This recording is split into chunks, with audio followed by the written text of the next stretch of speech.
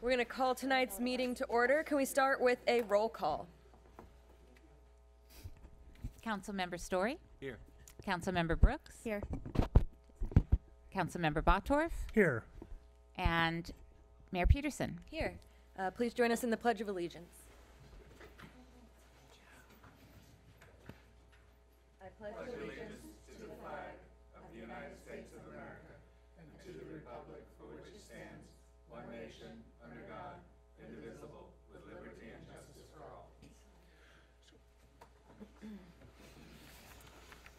All right. Tonight's meeting is Cablecast Live on Charter Communications Cable TV Channel 8 and is being recorded to be rebroadcast on the following Wednesday at 8 a.m. and on Saturday following the first rebroadcast at 1 p.m. on Charter Channel 71 and Comcast Channel 75, uh, excuse me, 25. Meetings can also be viewed live from our city's website, cityofcapitola.org. Our technician tonight is Ben Thompson. Thank you for being here, Ben. As a reminder, please turn off your cell phones during the meeting. Um, and if you come for public comment, please sign your name on the sheet at the podium to confirm uh, spelling for the record. We're going to move on. Item two is presentations. We have an update from Santa Cruz Metro.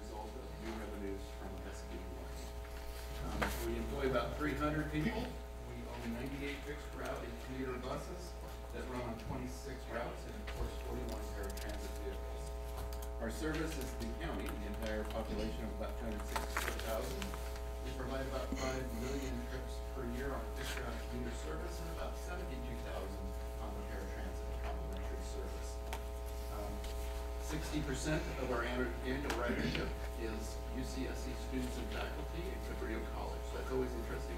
And if you recall from last year, we were in the high 50s, so that number has grown a little bit.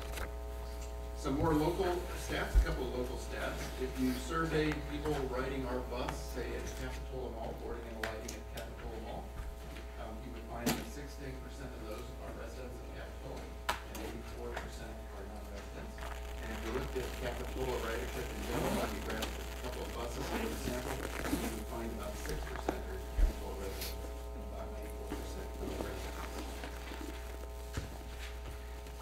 I've talked about the last couple of years, we've been working towards uh, the the launch of our real-time smartphone application so that our customers can go to any stop and look at their smartphone and tell when their bus is coming. Um, This is not new technology, we're just late to the game, but it is coming, it'll happen this year. We're in the process of installing it as we speak. As you might recall from last year, I talked about uh, our need to replace a lot of our fleet. That number has got a little bit better, but it's still pretty high. Still up around fifty percent of our fleet. Um, We have cobbled together some resources to buy uh, a number of buses in this next year, but right now we still need to replace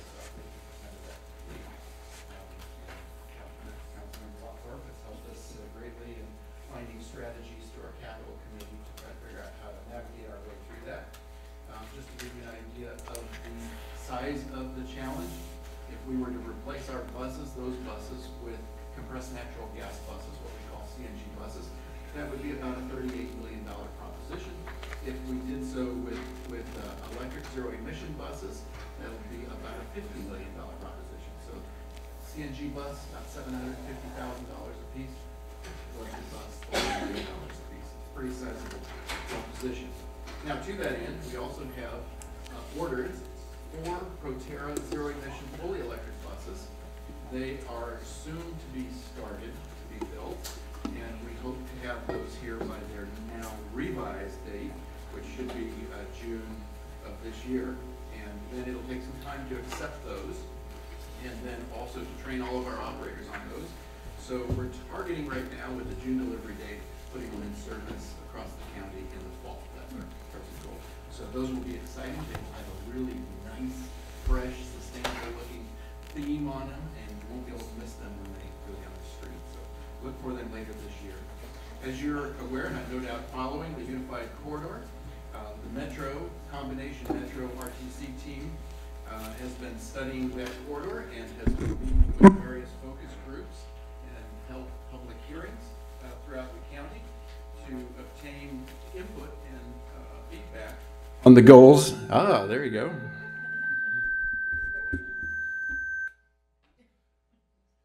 Apologies. Let's try that again. Are you ready? Start over, Alex. Okay. Next year. There we go. All right. I missed the first part, please. I love it. Hey. All right. So back on the Unified Corridor, uh, Metro team and RTC team are working together uh, throughout, uh, meeting with focus groups throughout the county and holding public hearings to solicit feedback on the kinds of performance measures and metrics that should be used to evaluate the transit options in that rail corridor. And I know you follow that closely. As you know, that corridor runs from Watsonville, Pajaro, all the way into Santa Cruz. Um, last week, the team met with the Planning and Public Works uh, staff from the various cities. And then what is happening is the culmination of this process uh, will bring, to, will come together with uh, the RTC staff making a recommendation to the commission on the preferred alternative targeting January of 2021. So that, that one's getting a little bit closer too. Um, you may have followed us uh, on the bus on shoulder discussion.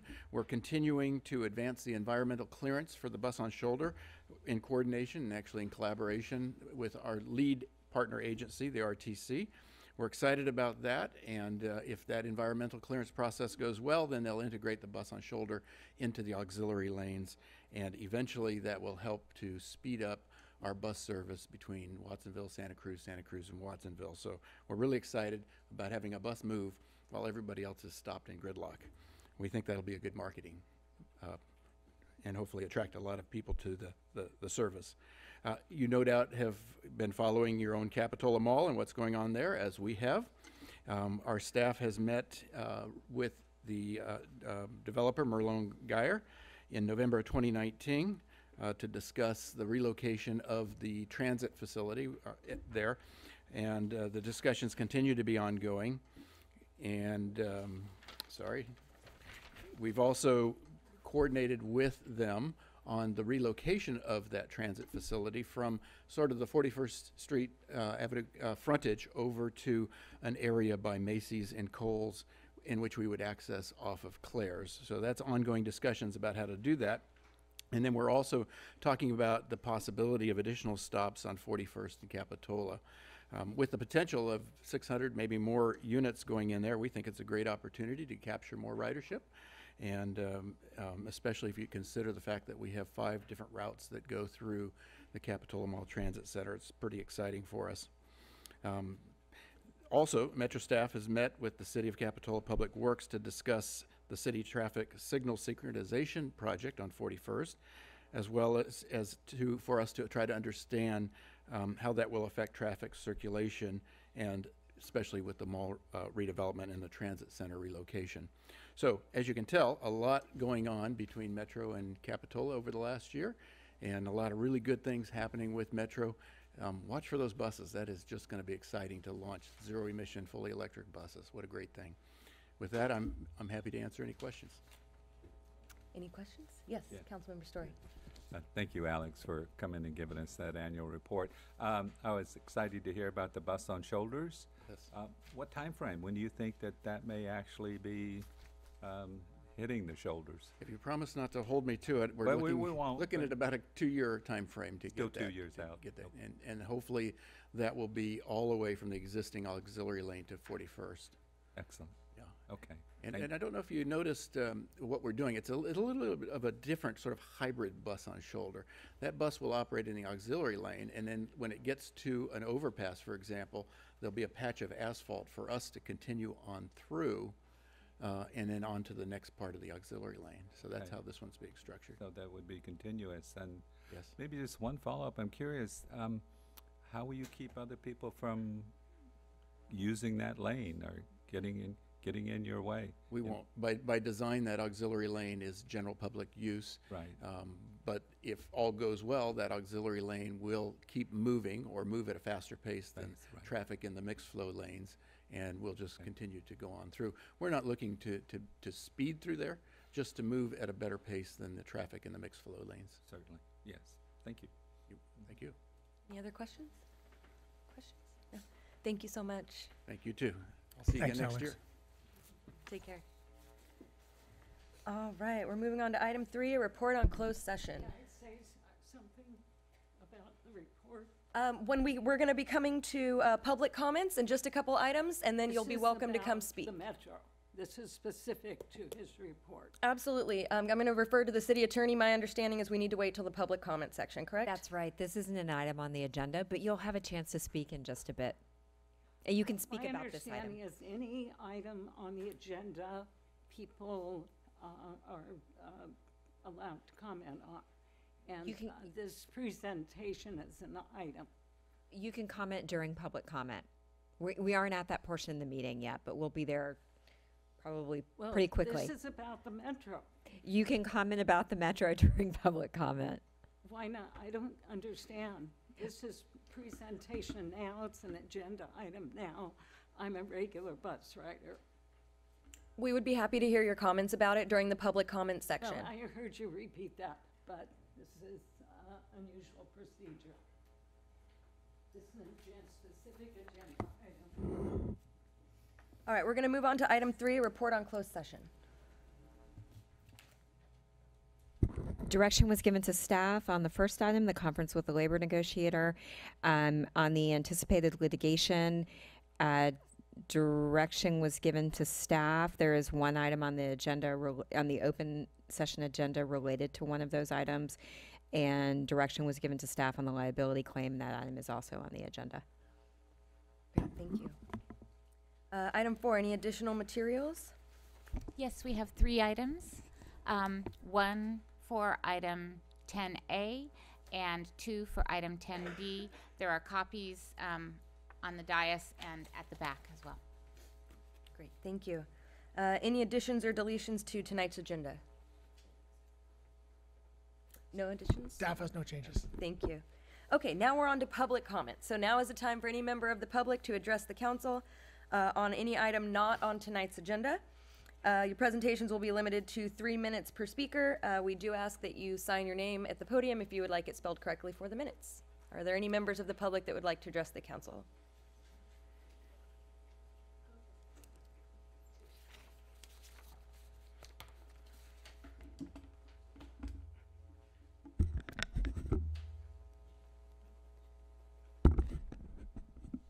Um, If you were to say people addressed during the public comment, all the items on the agenda, then it would be clear. I believe you are in error on this, but I will. Ma'am, we're going to ask that you address the, the council directly during I public am comment. addressing everyone who can hear me, everyone.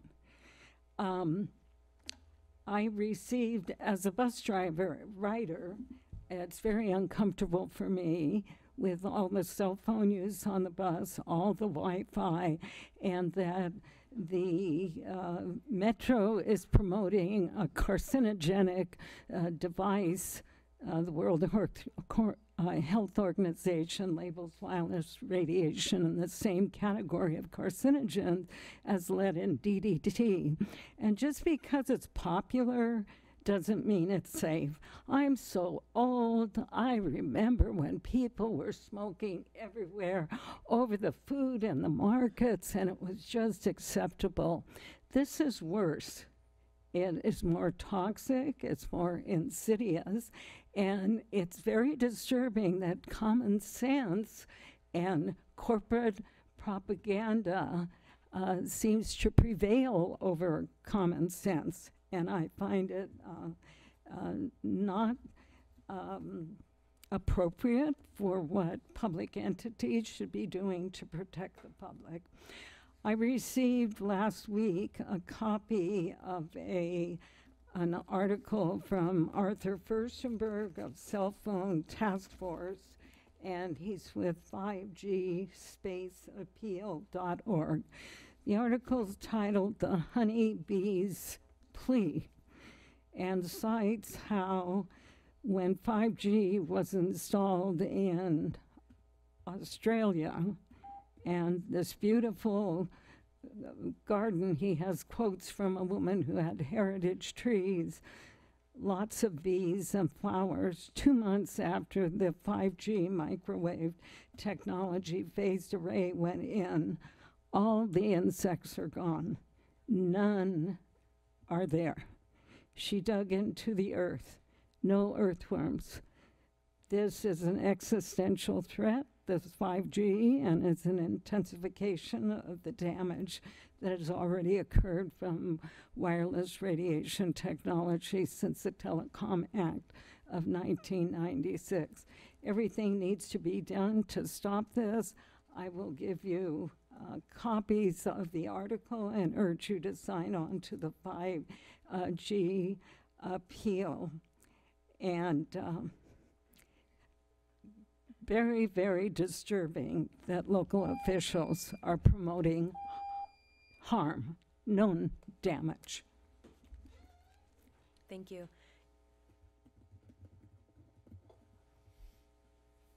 Hello, welcome.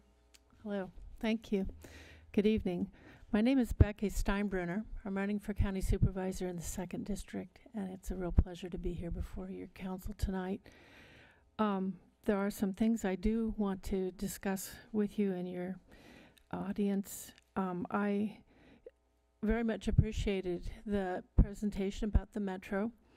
And um, one question I would like to ask, having come from now two successive um, public outreach open houses with the Regional Transportation Commission about the um, transit corridor alternatives analysis for the rail corridor. Um, a friend of mine has uh, told me that you can get a conversion for existing buses. Uh, it's called, you turn them into a high rail bus, and each conversion costs about $10,000. So um, that's one suggestion I made for the uh, alternatives analysis is to use existing metro buses with this retrofit that is comparatively affordable. And um, I'm I'm really interested in hearing how Metro will interact with the rail corridor plans when whatever is decided comes out. A comment must be submitted on that uh, scoping session by tonight, I, I believe at midnight. Today is the last day. Um, I'm also excited that a hydrogen fuel cell passenger train is coming to our county. It's been postponed to October. But again, at the uh, Live Oak meeting, which was incredibly well attended, maybe you were there, I just couldn't see you, there were so many people. But I did have the good fortune of meeting um, the man who is promoting the hydrogen fuel cell trains and asked him where the route would be. Um, he said that they're they're hoping, and probably you know this, but it was news to me that it would uh, be on the Santa Cruz side of the the Capitola Trestle. I would like to ask that your group try to uh, encourage that spot to be moved a little bit more uh, closer to the Jade Street Park. I think that will be a better gathering place for it and better parking. I also want to commend you on your um, Government Academy. I found it on your website quite by accident, but what a treat to have um, a, a city government really working hard to help people understand government, not only city government, but it, how it interacts with the county. So thank you for doing that. I wanted to observe, but I was not allowed. I was told members of the public would mess it up. But I really want to commend you for, for doing that. And lastly, I want to uh, just say that um, I have been observing a cell tower on at 200 Kennedy Drive. It's within the city limits that has been within the last year very much extended and expanded. And I was a little concerned to hear that there's no program for monitoring the EMFs at cell sites in the city. And this is now due to get even more uh, antennas. So I would like to encourage you to do some monitoring and make sure that Thank you. those appreciate living it. and working near are not harmed. Thank Thank you. you.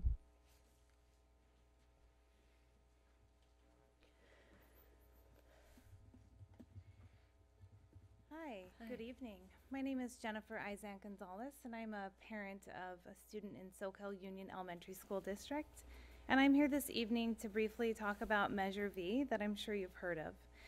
Um, Measure V is on the ballot, which is coming up in March, which is a very exciting ballot, and I assume we're going to have a lot of voter turnout. And I just want to ensure that it's not lost. Um, it's extremely important that we gather extra funding for our schools, and it's um, vital to our community, which we're all a part of. This Saturday, we're going to have a precinct walk at 10 a.m. in the Monterey Park. And the more our community knows about Measure V and what it's for to support our teachers and our programs in the schools that our students and family members go to, the better. Because last time um, we lost by a horrifically tiny, tiny amount of votes. So when I say every vote counts, I mean every vote, even 54 votes counts.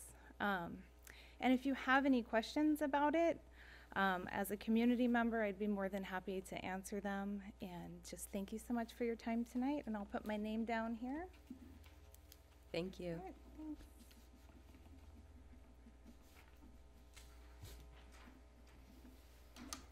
Is there any other member of the public that would like to address the council this evening? Yes.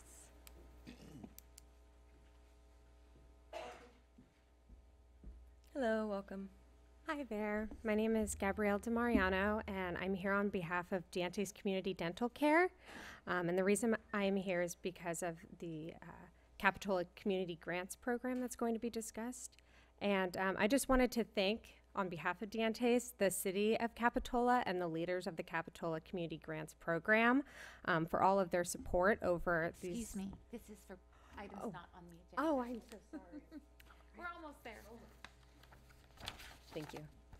Uh, Is there any other member of the public that would like to address the council on items not on tonight's agenda? Seeing none, we will move on. Uh, City council and staff comments. Does staff have any comments? I don't think we do this evening. Nope, all right. Uh, Council comments. Any comments on this side? None. No? Any My comments? apologies for missing the closed session. Thank you. No, no worries. We're glad you made it. Glad you're here. Comments? Yes. Vice Mayor Brooks. Yeah. Um, I just have a couple comments. The first is to acknowledge um, the city of Capitola. We, we received an email from the county of Santa Cruz's health uh, department letting us know that because we've created an ordinance or a ban prohibiting flavored tobacco, our letter grade went from a D to a B plus.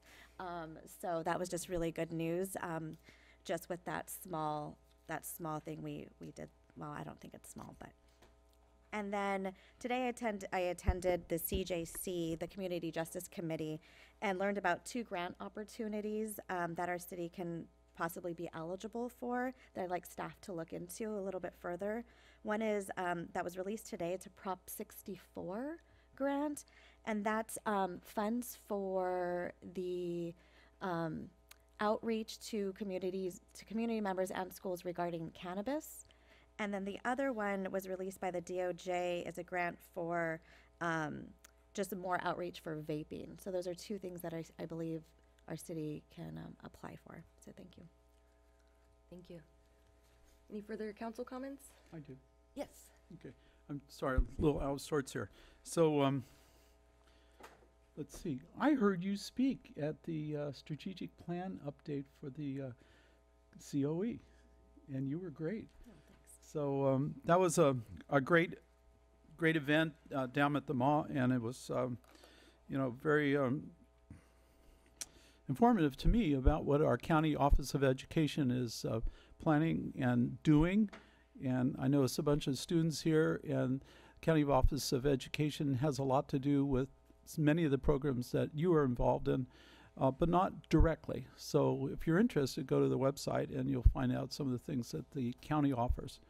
Um, the other thing on the RTC, um, I forgot to mention this when our Metro person was here, but the RTC recently made a decision to extend the um, bus on shoulder program, but it's in an um, it's in an evaluation phase right now, and this would extend it uh, considerably past 41st uh, Park Avenue, et cetera, down to Freedom.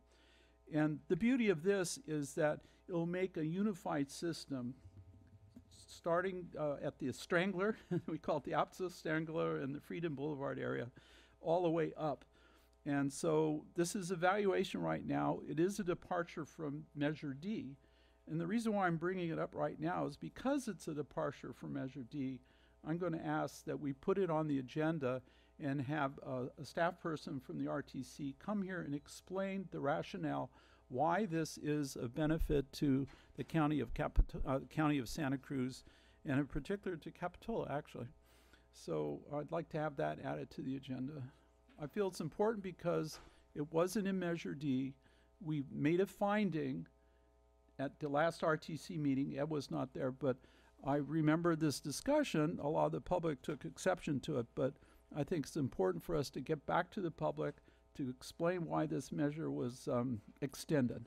Thank you very much. Yes. Question clarification, would, would we be better to have a presentation rather than put it on the agenda? I would like, yes, I would like a presentation. Yes, thanks for the clarification. Okay. Yes. Yeah, just as we just had from Metro.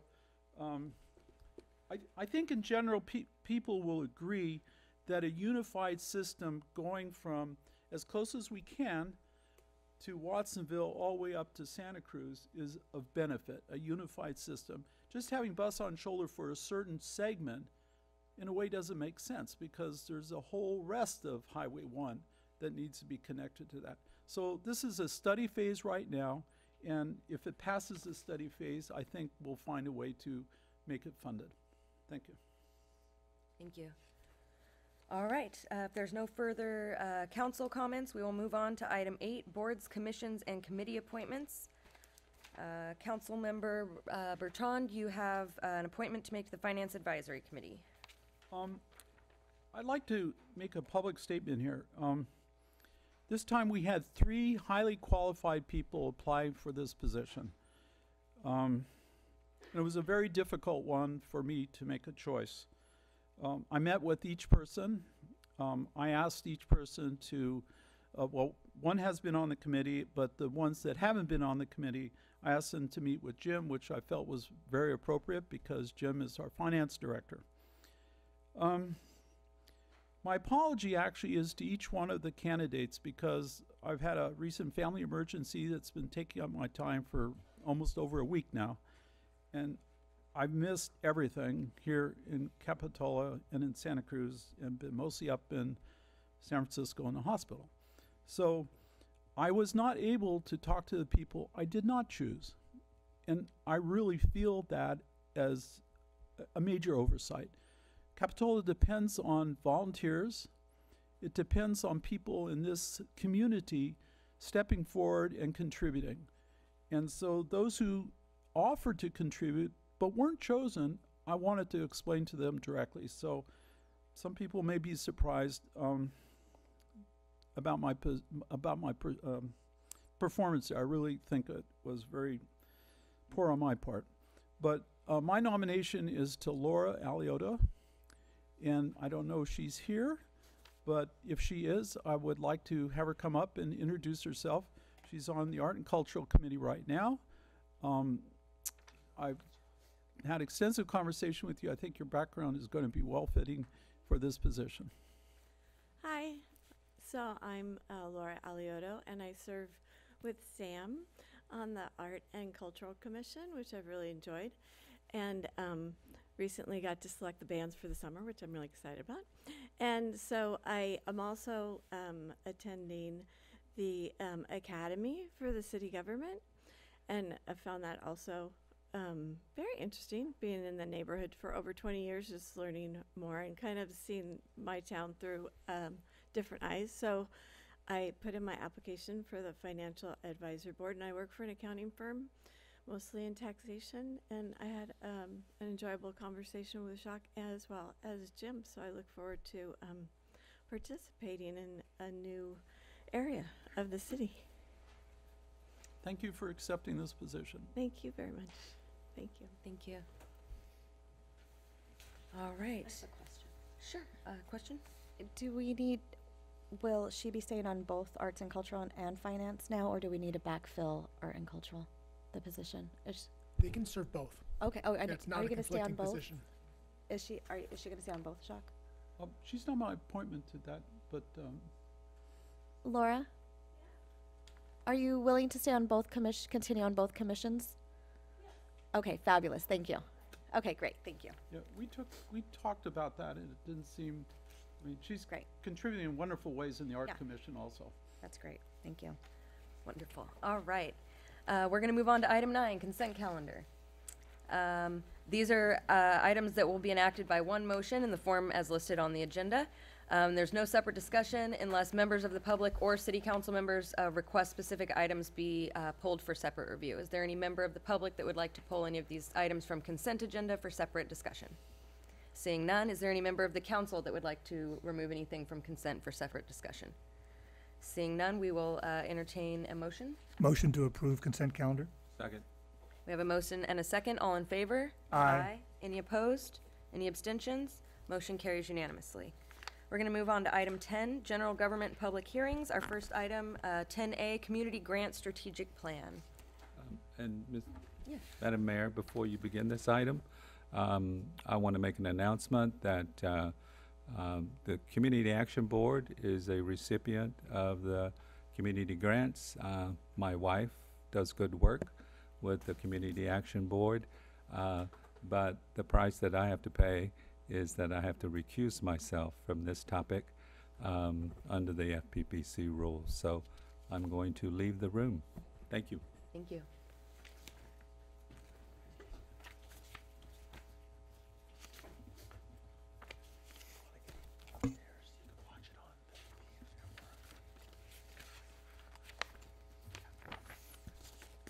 We're just waiting a minute for those wondering until uh, Councilmember Storey has left the room.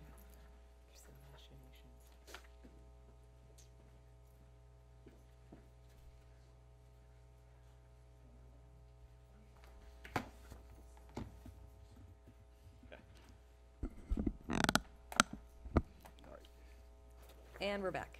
Good evening, Mayor Petersen, uh, Council. Um, We're here to talk about the uh, review of the community grant program and um, review of the program and review um, and the recommendations. And um, the city of Capitola uh, contracted with Optimum Solutions Consulting. And uh, we have uh, Nicole Lezen here to give the presentation on the results of that study. Great, thank you. Nicole?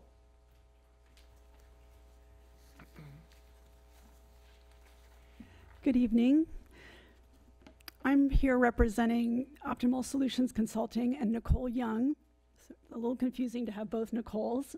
and I'm Nicole Lezen. I'm sorry, I'm struggling with my voice this week.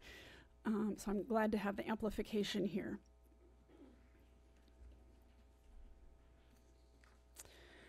I'm going to go over some of the information from a report that we presented. Oops, let's see if we can get this to go.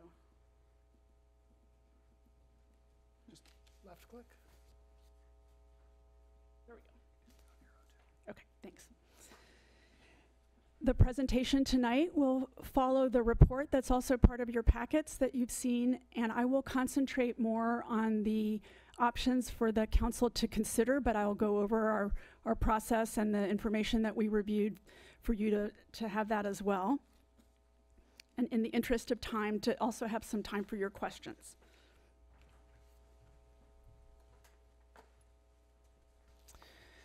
So as you know, uh, the City of Capitola contracted with Optimal Solutions Consulting to conduct this review of the community grant program.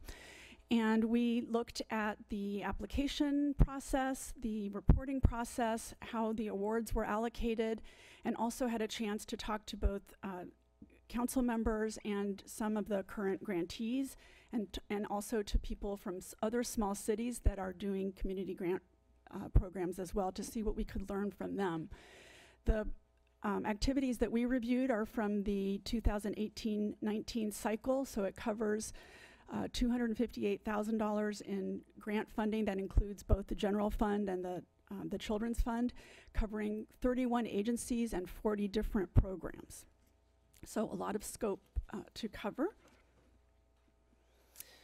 And as I mentioned, our process including, included interviews and reviewing materials, talking to people in other cities, and um, the, the presentation um, options that we'll go over here are based on, on these sorts of inputs. So I won't dwell on these, but some themes that you'll hear both in the report and in our presentation are that the community grant program is highly valued by recipients. um, it does provide a mechanism for addressing community needs in partnership with community-based agencies and organizations, but there are questions about which needs and how, how those needs can be prioritized.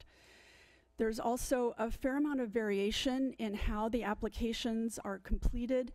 So while the council has achieved a, a goal of simplifying and streamlining the application process that is very much appreciated by applicants, um, it does sometimes lead to some uh, variations in the information that you have available to you to evaluate and compare applications for, for funding. So based on all of these themes and the interviews and uh, document reviews that I mentioned earlier, we'll present some options to you for consideration. But first, we wanted to just give this overview of the funding allocations that we did look at. Oops, sorry. Try this instead. Well, maybe we won't. Can we get staff technical assistance with the PowerPoint? There we go. Oh, there we go. Good. Never mind. Spoke too soon. Thank you, The, though. the magic of the escape button. So the funding allocations, as you can see from this table, um, just making the point that the majority of the awards are for s- relatively small amounts. And that becomes relevant in some of the information that I'll relay to you about the, the feedback that we got. So first, to start with the strong points, the strengths and benefits that were revealed to us in the interviews um, that we had both with council members and, and a sample of the grantees. As I mentioned earlier, um, the, the opportunity to address community needs through these grants so that, that health and well-being and quality of life in Capitola could be improved, and the idea of a partnership between the city and, and these organizations that are funded. The ease of the application process was also mentioned by, especially by grantees. And even the, the small grants, which are the majority of them, um, are highly valued, especially because the city, unlike some other places, did add a, a COLA increase to these grant funds. And the multi-year um, option for these grants was also highly valued since organizations only had to apply once for, for multiple years. So that helps with budgeting and also reduces the, the burden of applications. But along with any strengths and benefits, of course, there's always a flip side with some challenges and areas for improvement. So in terms of addressing community needs, we did hear both from some council members and some grantees that there was some uh, concern about funding not pr- being particularly tied to a systematic assessment of community needs and priorities within those needs, which made it difficult at times to answer questions about how this grant funding is actually improving the lives of Capitola residents and whether the grants were aligned with uh, a sense of high priority needs or gaps. In terms of the application process itself, while there was appreciation for the simplicity of the application process, which I, I know had uh, was an effort that had been made in the last round, there was some concern that, um, particularly by inviting prior grantees, there was uh, not as much room for inviting in new applicants or other kinds of ideas and innovation. There were some grantees that, even though the process was streamlined, still had questions um, and needed clarification about both the application process and the reporting process. In our report in more detail, we made some recommendations for some changes in wording that we thought might help clarify some of the, the requests for information. And one example of that is that there were some uh, questions about asking for the number of people served without context for that. So, for example, there might be a smaller number of people served, but served with more high intensity um, services, and so that might be um, hard to compare to somebody who, to an agency that serves a lot of people with a, a lighter touch service.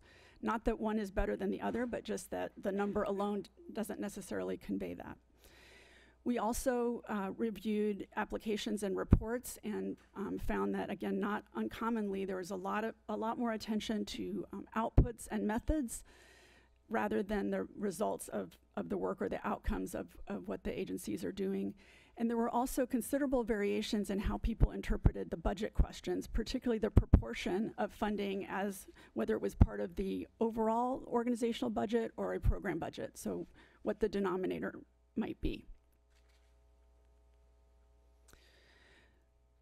Because of some of the variation that I've just mentioned, it was difficult to evaluate and compare applications one to another. And there were also some questions about the funding allocations to organizations that might generally be serving people outside of Capitola. There, um, there are probably some rationales for, for that kind of um, decision. For example, people who work here and live elsewhere or vice versa. But it just wasn't clear from the application questions and, and responses. We did hear some interest from council members about potentially changing the funding allocations and distributions.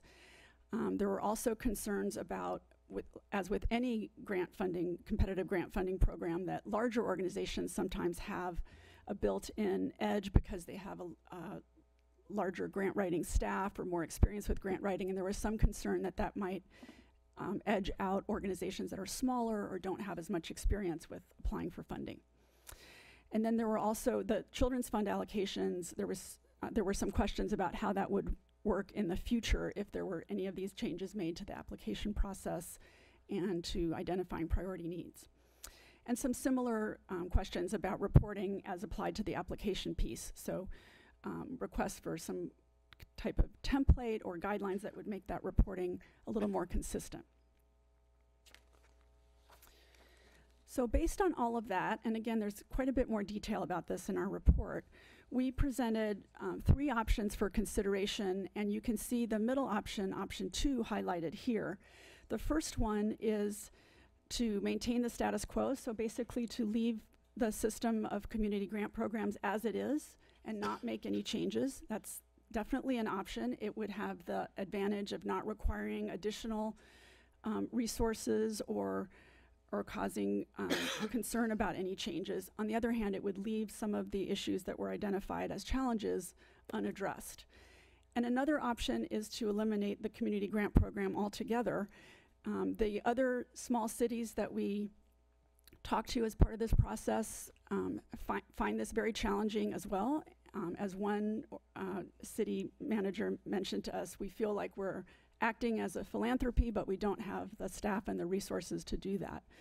So it is, it's relatively rare for small cities to take this on. So that's an option as well, or, or to have a different way of, of allocating the funding for longer term contracts, for example, which is what one city did. But we focused on this option of trying to take some incremental steps to improve the, the community grant program as it now stands over a period of one to two years. So I will go over some of the suggestions for what's included in that option. And it includes several incremental steps that increase in complexity but also in benefit um, from, from what we heard, from what you were trying to get out of the co community grant program and continuing it. So I'll go over each of these and then we'll have a chance to hear your questions. So the first option is um, the simplest, which is to revise the application process so that more uniform information can be obtained from applicants. And we have some specific suggestions in the report that go into a fair amount of detail about where exactly in the application process some changes could be made. But they include um, looking at the, the numbers of individuals served and the focus on Capitola residents in a more explicit way, um, looking at the use of grant funds within the city of Capitola and focusing on different kinds of outcomes than, than just counting services or outputs. We also made some recommendations about clarifying the, the budget um, so that there would be some um, comparable, similar responses to the, in the application. And then potentially looking, um, asking more questions about how the proposed program or service matches a need which would require identifying some community needs, and we have some suggestions about that as well. A more complex step is to use a data-driven process or approach to identify and then prioritize needs for the city.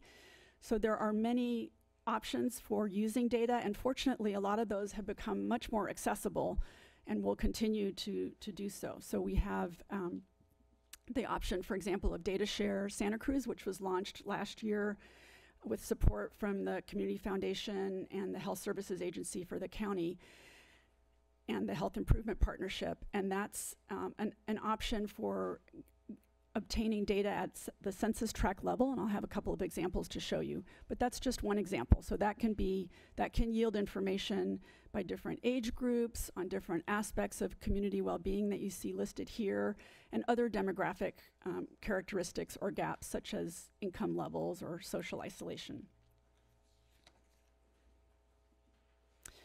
This is very small on the screen, but there are larger versions in the report, and, and the, the four on the, um, on the left side are all captures from DataShare that are easily um, obtained with search parameters. So you can look at, for example, the percentage of people in Capitola paying more than a third of their income in, in rent uh, and compare that to both the county and to California overall. There are many, many indicators available that way. Um, and then there's another example there from, um, from an organization called Broad Street that does similar sorts of things, compiling data um, on standard indicators and comparing them to other places and to state trends. And you can also see whether the, your figures are going up or down in, in a particular trend line. So those are not, um, not difficult to obtain. So they're just some examples for you. Another step in, in option two, if you choose to pursue that, would be to, um, to use the data and, and the idea about prioritized needs to, um, to look and reassess the funding allocations in different ways. So there could be some way to uh, balance or redirect the funds among the existing grantees, to stagger funding cycles in such a way that new grantees could be um, incorporated over time. There are also options that we learned about in other cities for tiered funding models that would divide the funding that you have available into different categories. So there might be some smaller annual grants, very similar to what you're doing now, and then a, a smaller number of larger grants that go for a particular um, issue. And those would be multi-year grants. There are always options, regardless of what you choose to do, as you're doing now, to have some separate allocations set aside for one-time sponsorships or of, of events, or to to track needs that are emerging and that weren't known at the time of the application process. And then all of these could be done in ways that apply some criteria to review and score the applications in a more systematic way.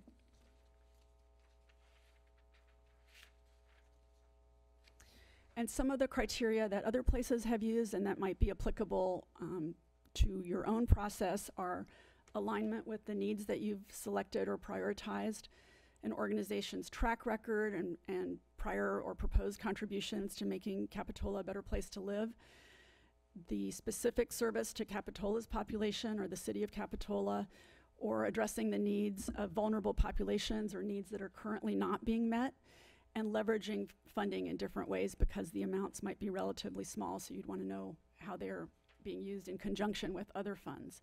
And there are many ways to do this, but the organizations we looked at assigned different weights to these sorts of things and then scored the applications against these to arrive at a uh, ranking of the applicants. And then finally, um, there's if you pursue option two and identify needs and use a data-driven process and criteria, there are opportunities to align the city of Capitola's priorities with those of other entities in the county, including United Way, the Community Foundation of Santa Cruz County, First Five. These are all organizations that are looking at different ways to align their funding more broadly. So it doesn't mean that there's a prescription of you can or can't fund certain ways, but just to try to get the idea that everybody's moving in the same direction or, or attacking uh, common problems that everyone is grappling with across the county. Sometimes that takes the form of co-investments, but more commonly it's the idea of we share this problem or need and we're going to try to address it in different ways together across the county. So that's why we recommended this middle option between maintaining the status quo or scrapping the community grant program um, altogether because we think it has potential to unlock a lot more opportunity uh, both for grantees and for having results um, from this funding. And this is just a last summary of the steps that I've just described. So again, from the, the easiest to the more complicated. And I'd be happy to entertain any of your questions. Thank you. You're welcome. Uh, are there any questions from council? Questions? Yeah, let me gather my. Sure. Questions? Questions? Anybody? No? It's back to you then. Oh, jeez. Sorry, don't mean to put you on the spot. I'm full of comments, not questions. Uh, yeah, yeah, yeah. Um, have you seen other jurisdictions take on these steps based off of your recommendations? And what did that look like? Did they have staff come back and, and were they able to successfully do that at the city level or did they have to branch out to organizations like yourselves? We saw a combination of using outsiders or doing things internally. The, the tiered funding model that was mentioned here is from the city of Hillsboro, Oregon. And they did an internal process through their finance committee. Um, they had three people on a committee who think looked at some other models and they've shared their materials with us and would be happy to share them with you as well. I'd love that, Mhm. yeah. Um, and was there a reason that you you combined both the children's fund and the grant dollars together since one is a dedicated fund funding model versus the other? Was there a reason you did that? We were asked to look at them together. So, Oh, okay. Yeah, it was part of our charge. So, Gotcha. yeah. Okay. But you're right, one of them is set aside for that population, but I- my understanding is that within that, there weren't additional needs identified. Correct. Okay. Mhm. Um, that's all I have for now. Thank you. You're All right. welcome. Yes. Um, you made some comments about the benefit to Capitola as opposed to the benefit to the community at large. Um, how do you see that in terms of moving forward? That dichotomy between Capitol as an isolated entity or Capitol as part of a larger community? And the programs that we support in a way are integrated in the larger community, not just focus on Capitola. We definitely see Capitola embedded in a larger community, and all of these geographic jurisdictional borders are somewhat fluid. People move in and out for various reasons, um, both to to live and to work. So some people move day to day, and some people move in stages over a lifetime. And as a county, we you know we we are all uh, together in in this area and trying to make it better. But there are unique aspects of, of Capitola. Um, I think you heard earlier from the, the metro discussion about there, there are things that pass through here or are unique to this, this physical location, and yet they're profoundly affected by things surrounding us. So it's a hard question to answer without a, a specific um, example in front of us, but I, I think that there are ways to balance both of those things the the uniqueness and and the focus on this community, but also taking into account the the larger context in which the city of Capitola is geographically, socially, economically embedded. So you talk about um, co-investing. I think you had a term. Mm-hmm. That's the term. So in a sense, that's a different level of criteria.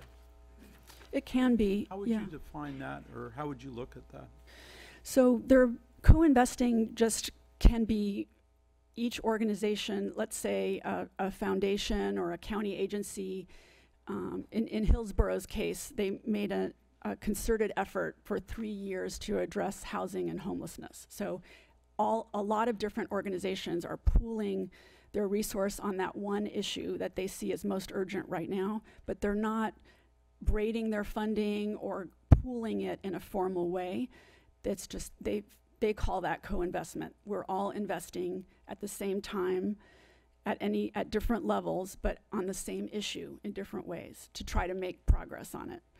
That So- makes a lot of sense. Mhm. But to some extent, we're going to have to have a mechanism to come together on that effort Absolutely. a co-investment effort. And how would you see our program, if it's option two or whatever option, how would you see that going forward? Is there some um, prior examples? Um, you talked about Hillsboro, but you didn't explain how they did that. Do you have a sense of how that could be done? I do. Uh, Hillsboro did a process internally, and they were moving towards that for some time. My understanding is over a period of years, because they didn't they didn't feel that the effort they were investing in doing a competitive process every year was worth was worthwhile. Was getting them results, and it was taking up a lot of time. Um, so there are many different ways to do that, but I think. Um, any of those options, whether you're co-investing with other jurisdictions or not, uh, requires some kind of further discussion internally about setting priorities and, and the criteria by which you might focus uh, grant funding. So if you take those steps in step two at some point, there's going to have to be some kind of um, discussion, prioritization, um, checking assumptions and rationales for what you all think is important. It Doesn't mean it couldn't change over time, or and it might be more than one thing. Hillsboro happened to focus on one thing, but um, that's that's a process that requires time and effort and discussion. Um, so, A question that's related, and city manager, maybe I should address this to you. Um, so in talking to one of the grantee, one of our recipients, um, it was made, um, mention to me that we have some agreements that basically is a maintenance of effort agreement. So, uh, for instance, with the RTC perhaps, um, where our money is helping the overall effort to succeed. Is, is this something that you could comment on? I mean, in a way, this is sort of like what she's talking about. We, we have these agreements already. I'm not aware of them, so this is something that I'm just sort of learning about. Well, I, I think the simplest answer is, is there's numerous items that we've co- cooperated regionally to, um, to do together with the other jurisdictions, whether it's regional transportation funding, um, obviously collaborate with Metro. We heard the presentation earlier from the Metro board about how we regionally provide uh, busing services. We do the same with libraries. We do the same with 911. So there's a lot of regional efforts that are done cooperatively with the other jurisdictions where we're all aligned and working together, either directly together because we formed a new government agency or just in an aligned fashion. So I think notion of sort of co-investment could be done similarly, whether it's directly sort of a single effort that we all pursue together or you just do it in alignment. Um, How do we get options. to that point where we, I mean, I haven't been in a discussion where, you know, we've talked about that at like the finance committee or here at the city council. Is this, um, city staff discussions across the county and various boards or agencies? I, I'm just trying to get some idea of how this works. So is this a- asking specifically towards this community grant, the community Yeah. grant effort? I mean, I, I think that what, what you could do if you were interested in pursuing something like that is asking staff to come back with what would a model be to better integrate with the overall, you know, other efforts taking place throughout the county with community grants. So the following discussion, we'll probably get to something like that. Thank you Yeah. very much. That's my questions. Thank you. thank you. Additional questions? No? All right. Thank you so much for that You're, presentation. you're very welcome. Uh, we will move on now to public comment. This is a time for members of the public to address the council on this item. Uh, please feel free to line up uh, at the podium and along the wall there, and um, you will have three minutes to address the council. Hi, welcome. Hi, let's try this again since I was so eager last time. Um, my name is Gabrielle DeMariano, and I am with Dientes Community Dental, and I'm here to thank the City of Capitola and the leaders of the Capitola Community Grants Program for all of the support over these last years. Um, I also want to thank Nicole Lezen and Nicole Young for reaching out to us during this process for feedback. Um, Dientes values the city's support and looks forward to the opportunity to continue this partnership as the community grants program evolves. Um, your support has had a direct impact on the residents of Capitola. Because of you, we have been able to provide 479 uninsured Capitola residents with comprehensive dental care through 1,600 visits in the last year. Um, with your continued support and our new clinic opening in 2021, we will be able to serve more patients and increase access to vital dental care, making a healthy community for all those who reside in Capitola and also throughout the greater Santa Cruz County. So I just wanted to say thank you and um, support this program. Thank you. Thank you. Question? Um, is, that- I, I believe we need to wait for questions until after public comment? Yes, after public comment, we can come back to more questions. Thank you. Hello, welcome. Thank you. Good evening, um, Mayor and City Council members. My name is Lisa Berkowitz, and I'm representing Meals on Wheels, a program of community bridges. Uh, I first would like to, on behalf of all of the Capitola seniors Meals on Wheels serves, thank you for your many years of support. Um, reviewing the city's uh, community grants funding process, as you know, will require council members to identify, review, and prioritize community needs, a, a tough job to do. Um, as a program that serves the 60 plus population of Capitola, I wanted to share with you early in your review process some of the significant changes in the aging population. I have a chart prepared by the California Department of Finance. This over there. Uh, that um, it's a chart prepared by the California Department of Finance, and the projections outline the increase in the statewide 60-plus population from 2011 to 2018. Um, Turning the page over reveals that uh, an even larger increase in the 60-plus population for Santa Cruz County. Um, Equally as important as the information for the council to be aware of is the fact that 65% of the seniors we are now serving are living at or below the fe- uh, federal poverty guideline. And this represents a significant increase in the number of low income seniors we're serving in the program and a significant decrease in their capability to donate for services. Additionally, uh, please note that we feel omitting the question that asks what would be the impact to Capitola residents if this program is not funded limits the council's knowledge. Uh, frequently, cuts made from a single funding source impacts service delivery across the county. So it, obviously, it's important information the council would need to know. And lastly, excuse me, a note from a Capitola senior that we received on 46th Avenue who summed up the importance of the meal she receives. Decisions are easy to make when your health is intact, your wages are intact, and your daily life moves forward without fear of being able to feed yourself. That is not the case for myself and many others on the program. We need that food. It's not an abundance or a free ride, it's our daily regimen. Thank you. Thank you. So, thank you very much. Thank you.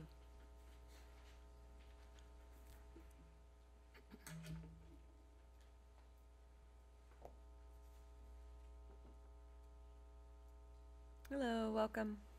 Hello, good evening, Mayor and council members. My name is Kirk Ants. I represent Liftline, a program of community bridges. And also Liftline is the designated consolidated transportation service agency for Santa Cruz County. And first of all, I'd like to thank you for your many years of funding and support to Liftline and partnership. Uh, with your help, we're able to provide paratransit service to low-income elderly and disabled uh, residents of Capitola to medical appointments, dentist appointments, pharmacies, uh, VA hospitals, and uh, out-of-county transportation to medical specialists. So the uh, transportation is very important to them. Um, also, in uh, review of the grant process, uh, Liftline is really in favor kind of of the status quo because we know it and it's easy for us. But on behalf of uh, Community Bridges, it looked like there was a suggestion of possibly removing one of the questions from the application, which was the question that states, what would be the impact to Capitola if this program is not funded? Uh, Community Bridges would like to suggest uh, leaving that in there if it comes to that point where there's an option to make a decision around there, because ultimately this question is critically important in making the case of what the impacts would be if not funded. So we- we'd like you to consider that, and thank you again very much for your support to Lifeline and Community Bridges. Thank you. Thank you.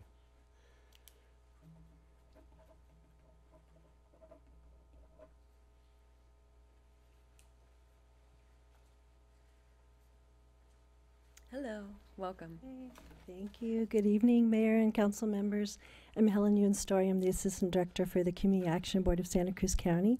And um, like many others, I want to thank you for your thoughtful um, review of the community grants process and your ongoing um, support of uh, community organizations that provide vital services to um, you know members of, of Capitola and the larger community as well.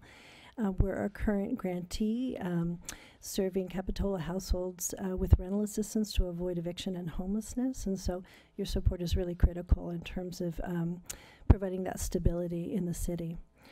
Um, we greatly appreciate your multiple year contracting process with your COLAs. Uh, I think that's been a really critical process um, and uh, element of your process, and I hope that continues in any changes. Um, but in reviewing uh, uh, the report, we definitely support elements of option two with some incremental changes in the process. And um, specifically, uh, any streamlining of application for clarity and and uh, um, standardizing reporting is always appreciated. Um, you know, as noted in the report, um, you know, you do help support a lot of different organizations with small grants, and I think anytime we can reduce the amount of time that we spend on applying or reporting for a grant and devote that time to providing the direct services is really appreciated. So we certainly support that. Um, like others, I support continuing to have that question about what would be the impact if um, services were not provided. I think that's important for you to um, to see that in your evaluation of funding decisions. Um, and then also, uh, one of CAB's core values is equity. And so we certainly support um, an equitable distribution of um, funding resources to meet community needs. Um, we also support an alignment and acknowledgement of other jurisdictional funding processes like CORE and others. Um, wi- while also hoping that there's some flexibility for some uh, local priorities. Um, kind of similar to what uh, Watsonville's process is. Um, so I would really encourage you uh, to look at that. Um, but given all that, I really think that a lot of the current um, grantees are going to meet those elements. Um, uh, you know, supporting um, different needs in the community that are critical. And so uh, we really want to encourage you as part of this process to also consider increasing your overall community grants um, program funding in order to meet all the needs that are critical for the city. Thank you very much for your support. Thank you.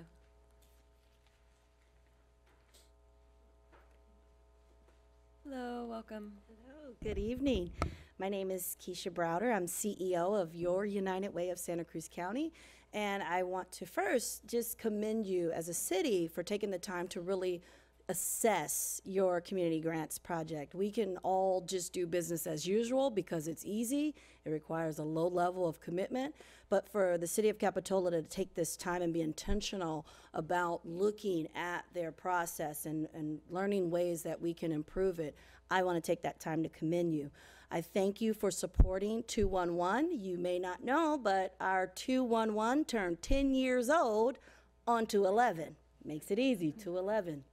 211. Um, and so we just really, truly thank you. Um, about 4% of our calls, uh, we have about 4,000 calls that come in a year. About 4% of those calls do come from Capitola.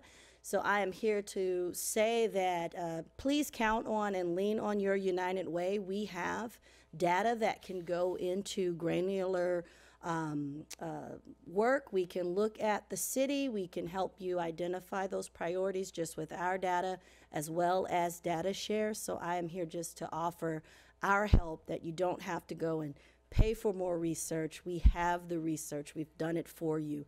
So just know that you can count on your United Way to help you with identifying those priorities. Definitely keep that question in because it's a, a, very serious question about the impact if you don't continue funding.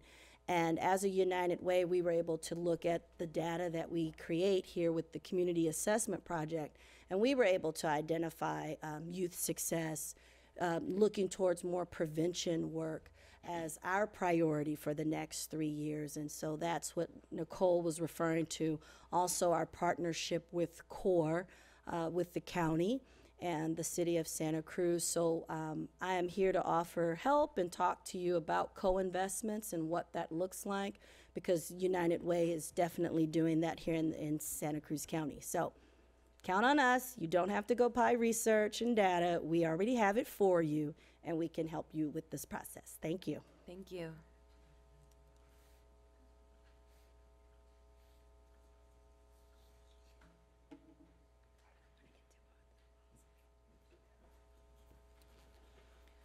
Hello, welcome. Good evening.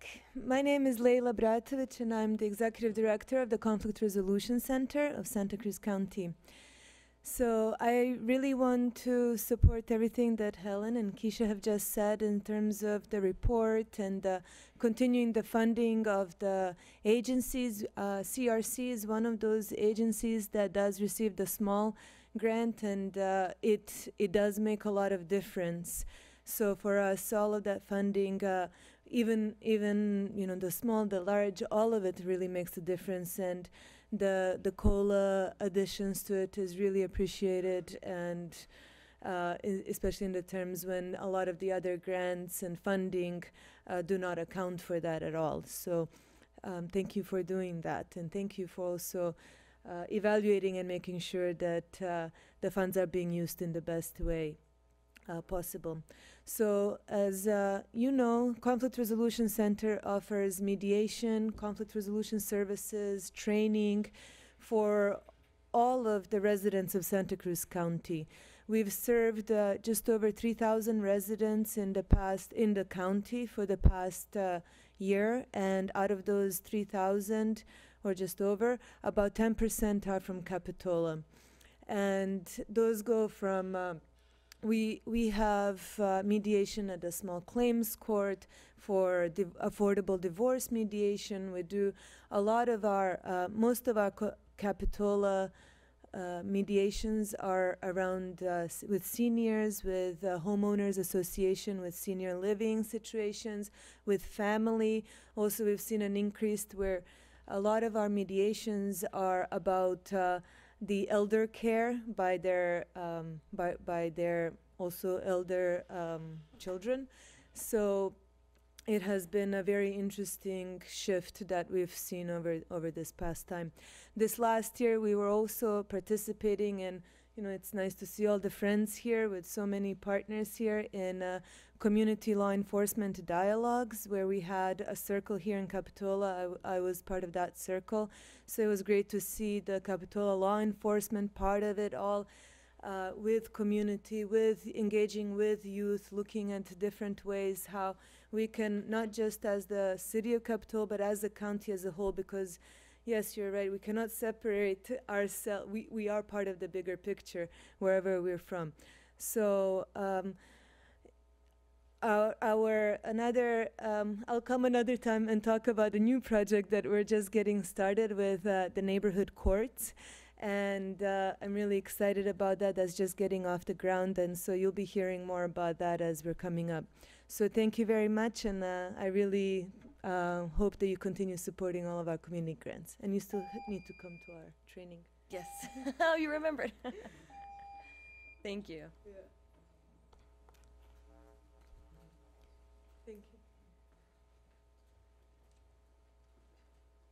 Hello, welcome. Hi, thank you. Um, I want to introduce myself. I'm Creighton Mendenhall. I'm the Executive Director and Directing Attorney for Senior Citizens Legal Services, and we serve Santa Cruz and San Benito counties. Uh, we serve about six to 700 clients a year for direct legal services, and approximately 100 of those come from the city of Capitola. Um, I wanted to talk about uh, things that I want to make sure that you consider in this process. One is the core evidence based process does not work, at least for our agency. They want evidence based and studies based on it, and they want double blind studies. To the best of my knowledge, there are not people who don't know that they're attorneys giving legal advice to the public and comparing that to attorneys giving legal advice. So when we went through the evidence-based process, there were no studies for us to work with. Um, and we do what we do because it works. So we help people over 60 with housing issues, with um, access to their uh, public benefits, and elder abuse prevention.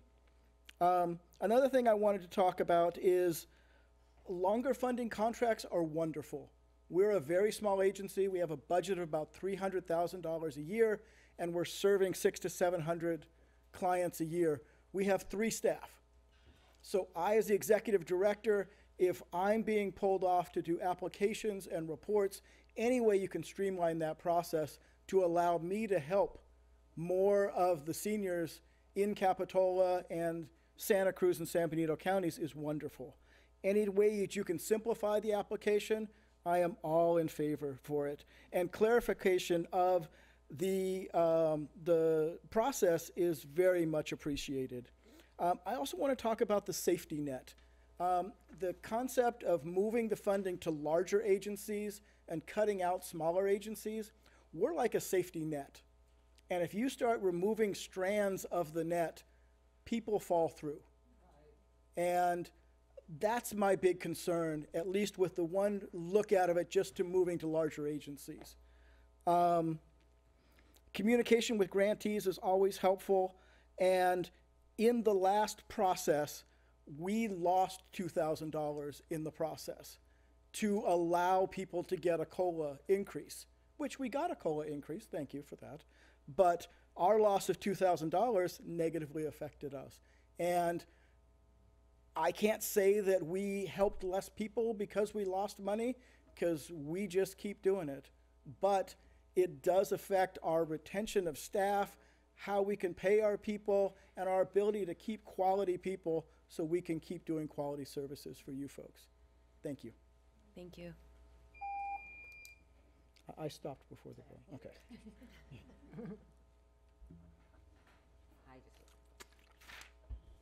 I was afraid of the buzzer.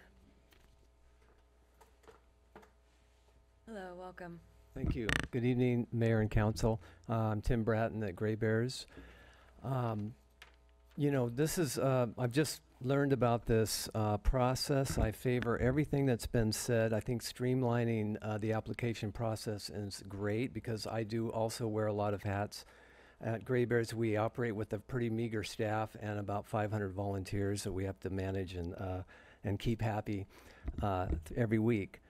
Um, I think for for what we've seen with the core process and what we've learned as an agency, I think is important because it gave us some way to evaluate our work. It made us uh, look at the way that we provide service. It uh, created ways that we can improve the services that we offer, and it gave us a way to to um, to uh, create outcomes that are reasonable. Uh, are people better off? Are they eating more fruits and vegetables from the bags that we deliver but to about 300 Capitola residents every year? Do they feel better? And are they able to save money on food costs? Those are basic needs that we provide that are really clear and really easy to understand. And part of our work is also volunteerism. About 45 Capitola residents come to our agency every uh, every day and offer and donate in the last grant period about 6,000 hours of service. In in in that work, they rub elbows with other people. They create relationships and friendships. They create support systems, and they get to have breakfast and lunch and take home groceries too. So a lot of what we do uh, really uh, really addresses. Uh, where the um, where those who are on the edge of poverty live and are one expense away from you know calamity essentially. So we're addressing those needs and we're really grateful for the work that we've done together with you for all the years that you have and all the agencies that you support here. We look forward to the process and um, and working with you in the future. Thank you. Thank you.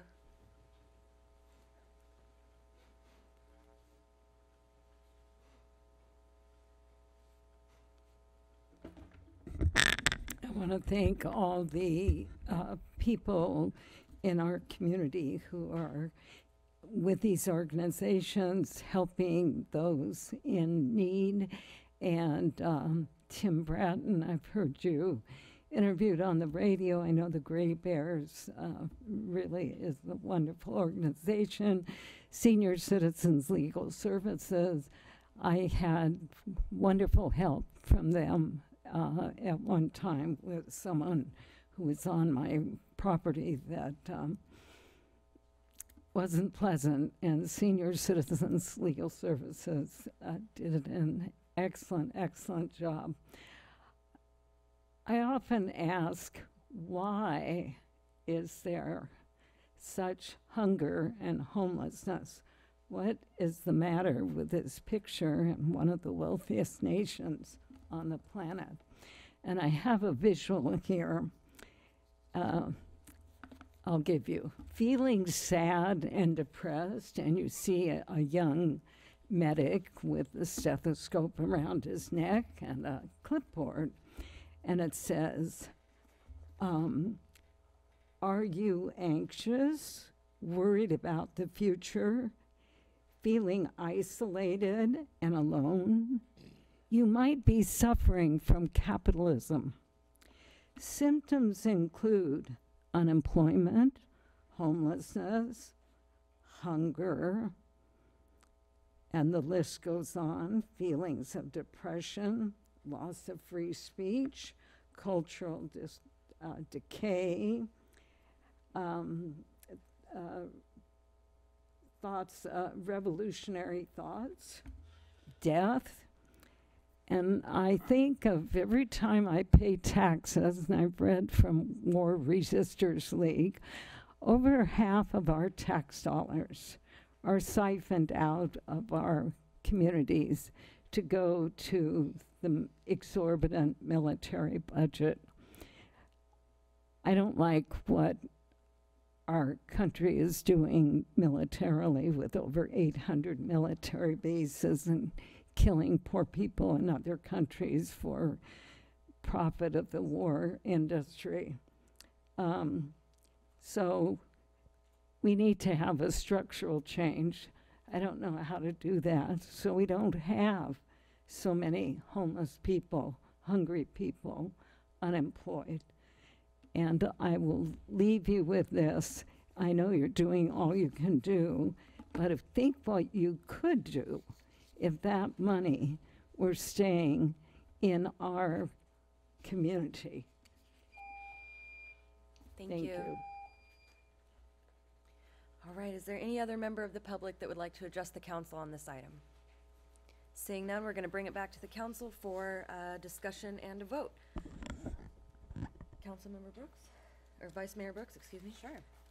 I'll go ahead and start. Um, I appreciate everyone coming this evening. Um, it's always a pleasure hearing about all of the programs uh, in our community and all the exceptional work that you do. I, I get to see it out there in the community. It's it's a beautiful thing. So thank you for showing up tonight. Um, with regards to the presentation, Nicole, thank you also. Um, I, I agree. I think that it's important that we find balance in um, in how we distribute the funds in with throughout the community. I, I think it's important for a system to be created by our council members to prioritize um, our community needs, and we're missing that. Um, I'm particularly particularly concerned about the unmet needs. We and that's the biggest gap here. We are doing so many great things. We're funding so many great organizations so far and have done so for a very long time. We just aren't sure where, where those unmet needs are, and I feel we're, we grapple with that. So by setting a process in place um, would really help us move in the right direction, or at least I believe that. Um, and more importantly, not duplicating things. Um, uh, that are already taking place. There, there was mention of CORE, and I'm not sure if that's the process or, but I know that other organizations and uh, cities and community uh, members are coming together to ensure that we're not duplicating needs and really, uh, really stretching those dollars uh, to the to the fullest to benefit all of our community members. Um, so a couple of things that I heard. I um, I'm in agreement with the option two. For uh, I I think that is a uh, a starting point. I I would hope that if I guess I can start with a motion and then we can go from there. Um, I, I would like to see staff come back with a more meaty uh, process. That there was the several steps introduced in option two, but for the, for you to come back on what that would look like, what that timeline would look like, I would really like for us to utilize uh, United Way and their free ser- their services and that data that they already offer, so we don't have to pay anything in addition from what we've already done, um, and see if we can actually utilize staff's time in setting those priorities with the help of United Way. Um, I think that it, the we can update the application though immediately based off of the information that Nicole gave us this evening. Um, there was plenty of feedback there that I think we can just move on that without waiting any further. Um, and thank you for noting the question. Nicole, was that question being answered somewhere else in the application process? Is that why you took it away? I know I'm halfway through a motion, I'm sorry, but let me just get clarification before. Yes, thanks for saying that. We did feel that that was captured in another question Okay. about the, the methods and tools that were used to measure impact. And Right. it was duplicative to ask it twice in two different ways. That's what I thought. So, I don't think there would be a need there. Thanks. to to do that. Maybe we can look at editing if again you can come back with if that's if in fact that question is being answered in its entirety, so that we're not losing any anything there. Um, and to possibly examining examine once we set those priorities, I just want to say that um, for us to pull out that dedicated children's fund. So once council sets those priorities, that we look at those funds on a separate um, separately. So that would be my motion all those things. We have a motion. Do we have a second? I'll, s- I'll second that with uh, continued discussion. Is that the conclusion of your comment? That's Okay. it. That's all I got. Further comments? Councilmember Bottorff. Sure, yeah. Um, Thank you for those comments, uh, um, Vice Mayor. I- I, I appreciate everything you said, and I do want to thank all the groups that came here tonight. Um, You know, the, the, the history of this is that we've been struggling with allocation of money for probably at least four years that I can think of. Um, When you think about where we're at right now, there's, there's option one, which is, says maintain the status quo. And this really wasn't working for us, because we, you know, just keeping the same groups, not allowing anybody else to come in, allocating the same money every year, um, really, we weren't sure that it was doing with the best for Capitola, and it, it maybe didn't give some groups uh, a chance to get in, and, and we realized that the most important thing, or not the most important thing, but one of the most, one of the important things to the, the groups was that, that uh, consideration of, of continued funding, and we appreciate that. Um, I can tell you, I'm here tonight not to vote for option one, which is maintain status quo, and it's not to eliminate. So we're, we're all, I think, in agreement. That's why I seconded the motion for option two. But option two is very broad at this point. And, and, you know, when, when you bring in a consultant, they're to give you options, and, and that's what we're here to do tonight, is to try to whittle that down. I, uh, even within the four, uh, options in, uh, in, in, in, uh, option two, there's many bullet points, which, you know, that I, I feel what I'm gonna do is I'm compelled to, I'm gonna send a written letter to the city manager to give input about, you know, the things that I do, that I have feelings on, because some of them I think are gonna get us closer to that goal, which is, at least what I believe, because I, I sat on a committee with, uh, the mayor a couple years ago to try to sit down and go through the, each individual person we provide to, which is pretty broad, I think it's over forty and uh, find out which, you know, uh, for lack of a better term, which which uh, group was the biggest bang for the buck for the citizens of Capitola. And you know, th- there's just some uh, services that are provided that, that we cannot go without. Okay, and I'm, I'm not trying to, I don't want to pick those out at this time, but you know, there's there's very important groups that exist, and there's some that maybe not so much. And we just want to make sure that we're giving our citizens the best look we can do for that. Um, I do, out of this process, I do believe that our application process does need to be streamlined. There's five items here that I'm going to talk about that, uh, that uh, Nicole brought up. And Nicole, thank you very much for the, the time you spent. And I'm not sure if it was you I talked to on the phone or the other Nicole. Okay, good, all right. Uh, thanks for clarifying that. Um, the application does need to be streamlined. That will help us, uh, just, to- and make it easier on you. I believe it makes it easier when you do that. Um, Identify priority need based on community level indicators, absolutely, that's where we want to get. Uh, Develop a weighted checklist, that's good. Um, you know, the considering of the tiered, you know, what, something that was brought up tonight, and this is, this is a reality check for us. You know, every time we come up here with any project, it's always easy for us to make that project better by throwing more money at it. And, you know, one of the things says, you know, we can, we can do that with community grants, but the reality of it is, is, you know, Capitola has some challenging times coming up. You know, we're, we're getting ready to do a great big mall uh, redevelopment, which we hope is going to put us in a prosperous, prosperous position down the road.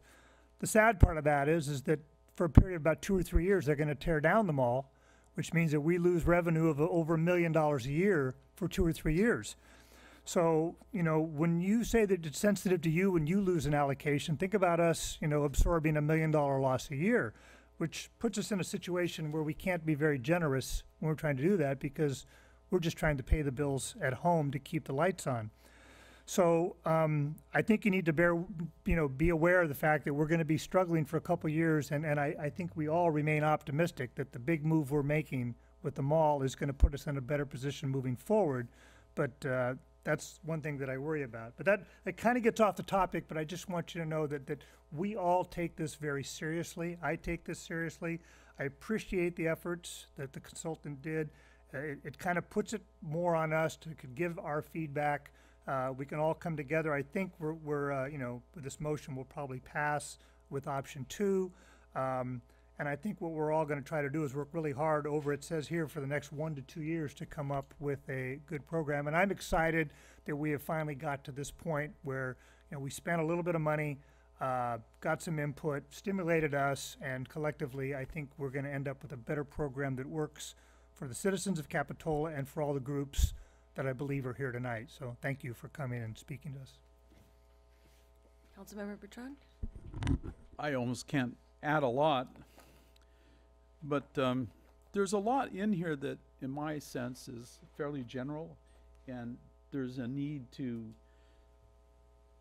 put it in context. And the reason why I say in context, um, when this process started, at least on the county level, there was a report that said, okay, we could go to a needs-based assessment, which I read, or we could think in terms of sort of like what Cretan was talking about.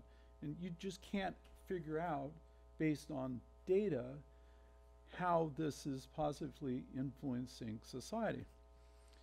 And so he spoke from the standpoint of the senior citizens um, legal services. Um, I was able to connect a person who was at a mobile home park, who was being bullied by the owner of the mobile home park. And this particular mobile home that this person had was basically her life savings. And she needed to sell it so that she could get in a home and have care for the rest of her life, whatever that might be. And it was this legal services group that came to her aid and enabled her to sell this in opposition to what the owner of the home, uh, the mobile home park wanted. Um, a lady came here and talked about uh, Dientes. Um, I know an individual homeless person that, um, for all intents and purposes, you thought he got in a multiple number of fights. He didn't have any teeth. He just looked horrible. He actually got some services from a dental agency, not Dientes. This guy lived up somewhere in Mendocino, but it was someone I knew. And it turned out that he was a civil engineer, he got his teeth fixed, and he was back on the job building bridges. You know, someone mentioned that the services that we help support help a network of things that keeps our community alive.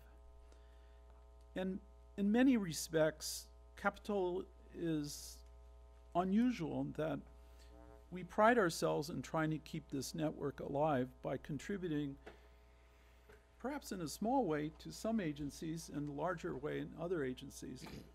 But it helps keep our network alive for this community, for those especially who can't afford to do things on their own.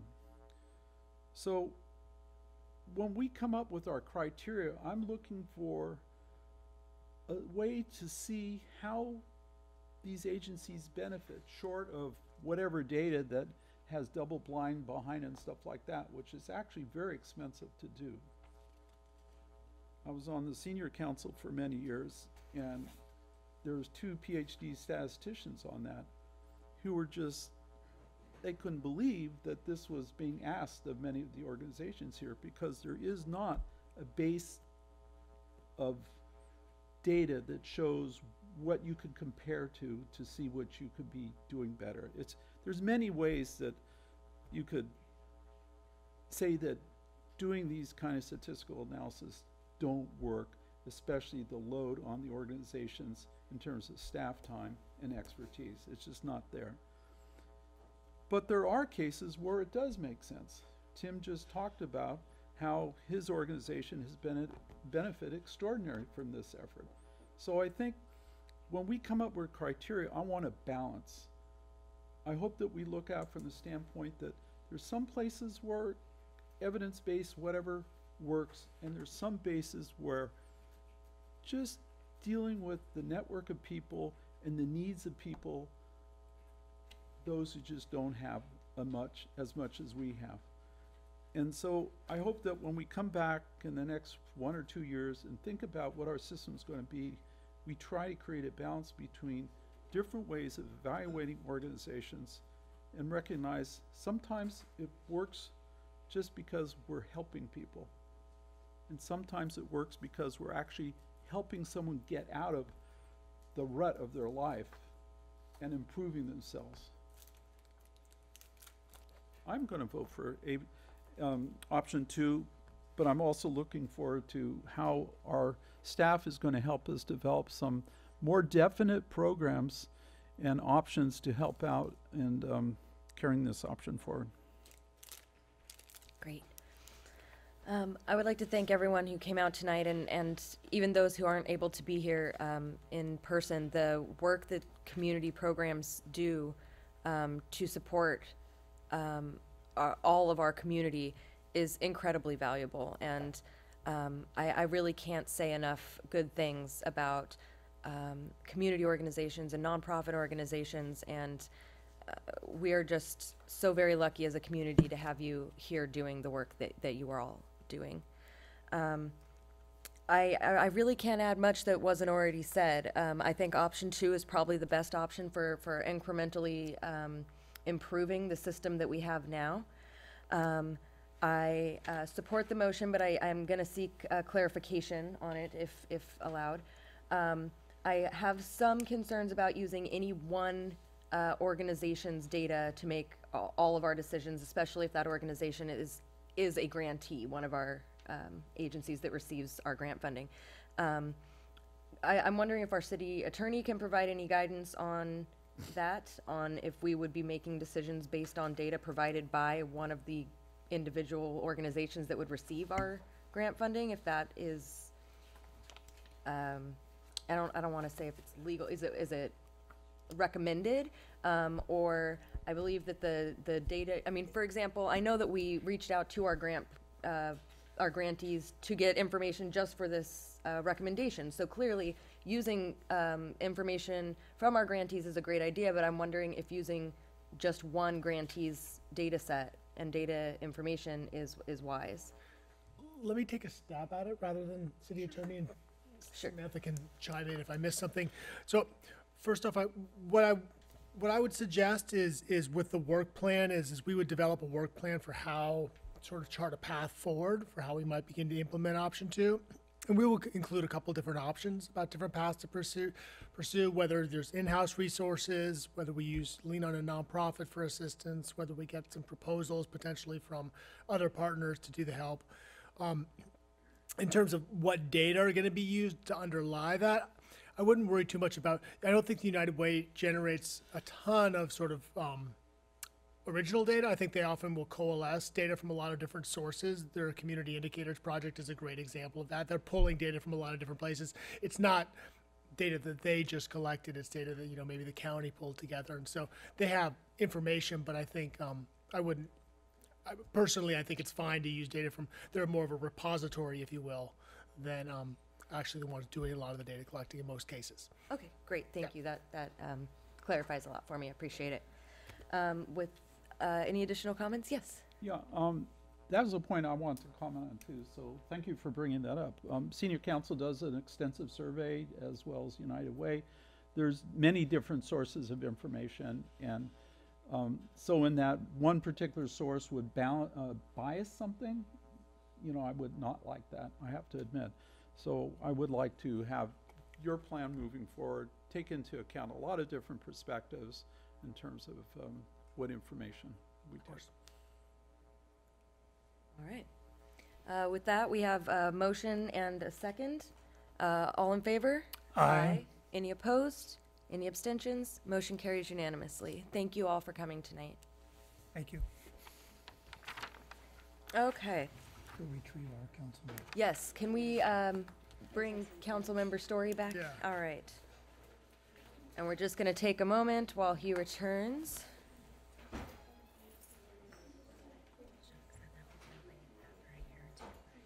Thank you. I hate to butcher people's names.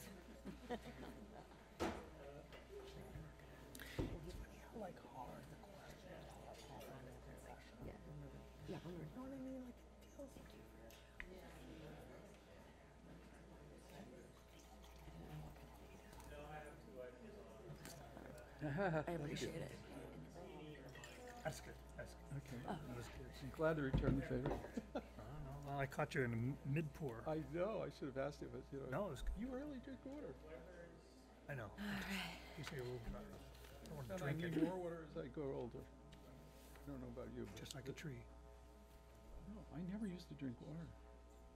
Never. Who's this guy? I recognize you. Oh, that's right. you're- Welcome back. Yeah, well, oh, that's you. right. You've only been gone so long and. All right. Quite a while. Did you watch? All right. So uh, we're going to move on now to item 10B, consider proposed recreation strategic plan. Uh, Mayor Petersen, council members, the item before you tonight is um, the Recreation Division Strategic Plan. So, in February, uh, council approved funding for a recre- recreation strategic plan project. Um, Blue Point Planning, a consulting firm, uh, was chosen to facilitate the development of this plan. Originally, uh, that consultant, Mindy, was planned to be here to give this presentation tonight. Unfortunately, she spiked a pretty high fever and is unable to be present. So I will be conducting the entire presentation. Um, so with the proposed plan, uh, it would begin with the upcoming fiscal year 2021. So to go into um, the process for this plan was took place over a span of six months. Um, it involved with the uh, consultant's facilitation um, we established a core team. That core team was comprised of a number of Capitola staff as well as community members and stakeholder groups. Um, that core team met, uh, did an orientation call to kind of discuss and give ideas as to where we wanted this plan to go. Um, and then with the consultant reviewing all of the data that we had available as well as information from the core team given in a meeting, did a review on the existing conditions of our recreation division. And we started to work on developing some visions and goals and identifying the needs, gaps, needs and gaps and opportunities um, that core team then took a lot of that information and started to outline those goals and strategies um, that, if the plan was um, approved, we would start to implement. So, the the ultimate excuse me the ultimate goal of this strategic plan is to create exactly that a roadmap um, for the recreation division um, in order to provide what the community wants and needs. Um, it also allows us to understand better how we might be able to maximize the use and functions of the parks and facilities and identify programs that we should maybe grow or add based on those community needs. Um, and then one of the things that was also identified is to be able to establish partnership connections and efficiencies um, with other with city and community services such as events, parks, and the library, and ultimately have that be a tool to communicate those priorities to the community. So with that as kind of the, the ultimate purpose, the first place that that core team, along with the consultant, started is to review the mission, vision, and values for the recreation division.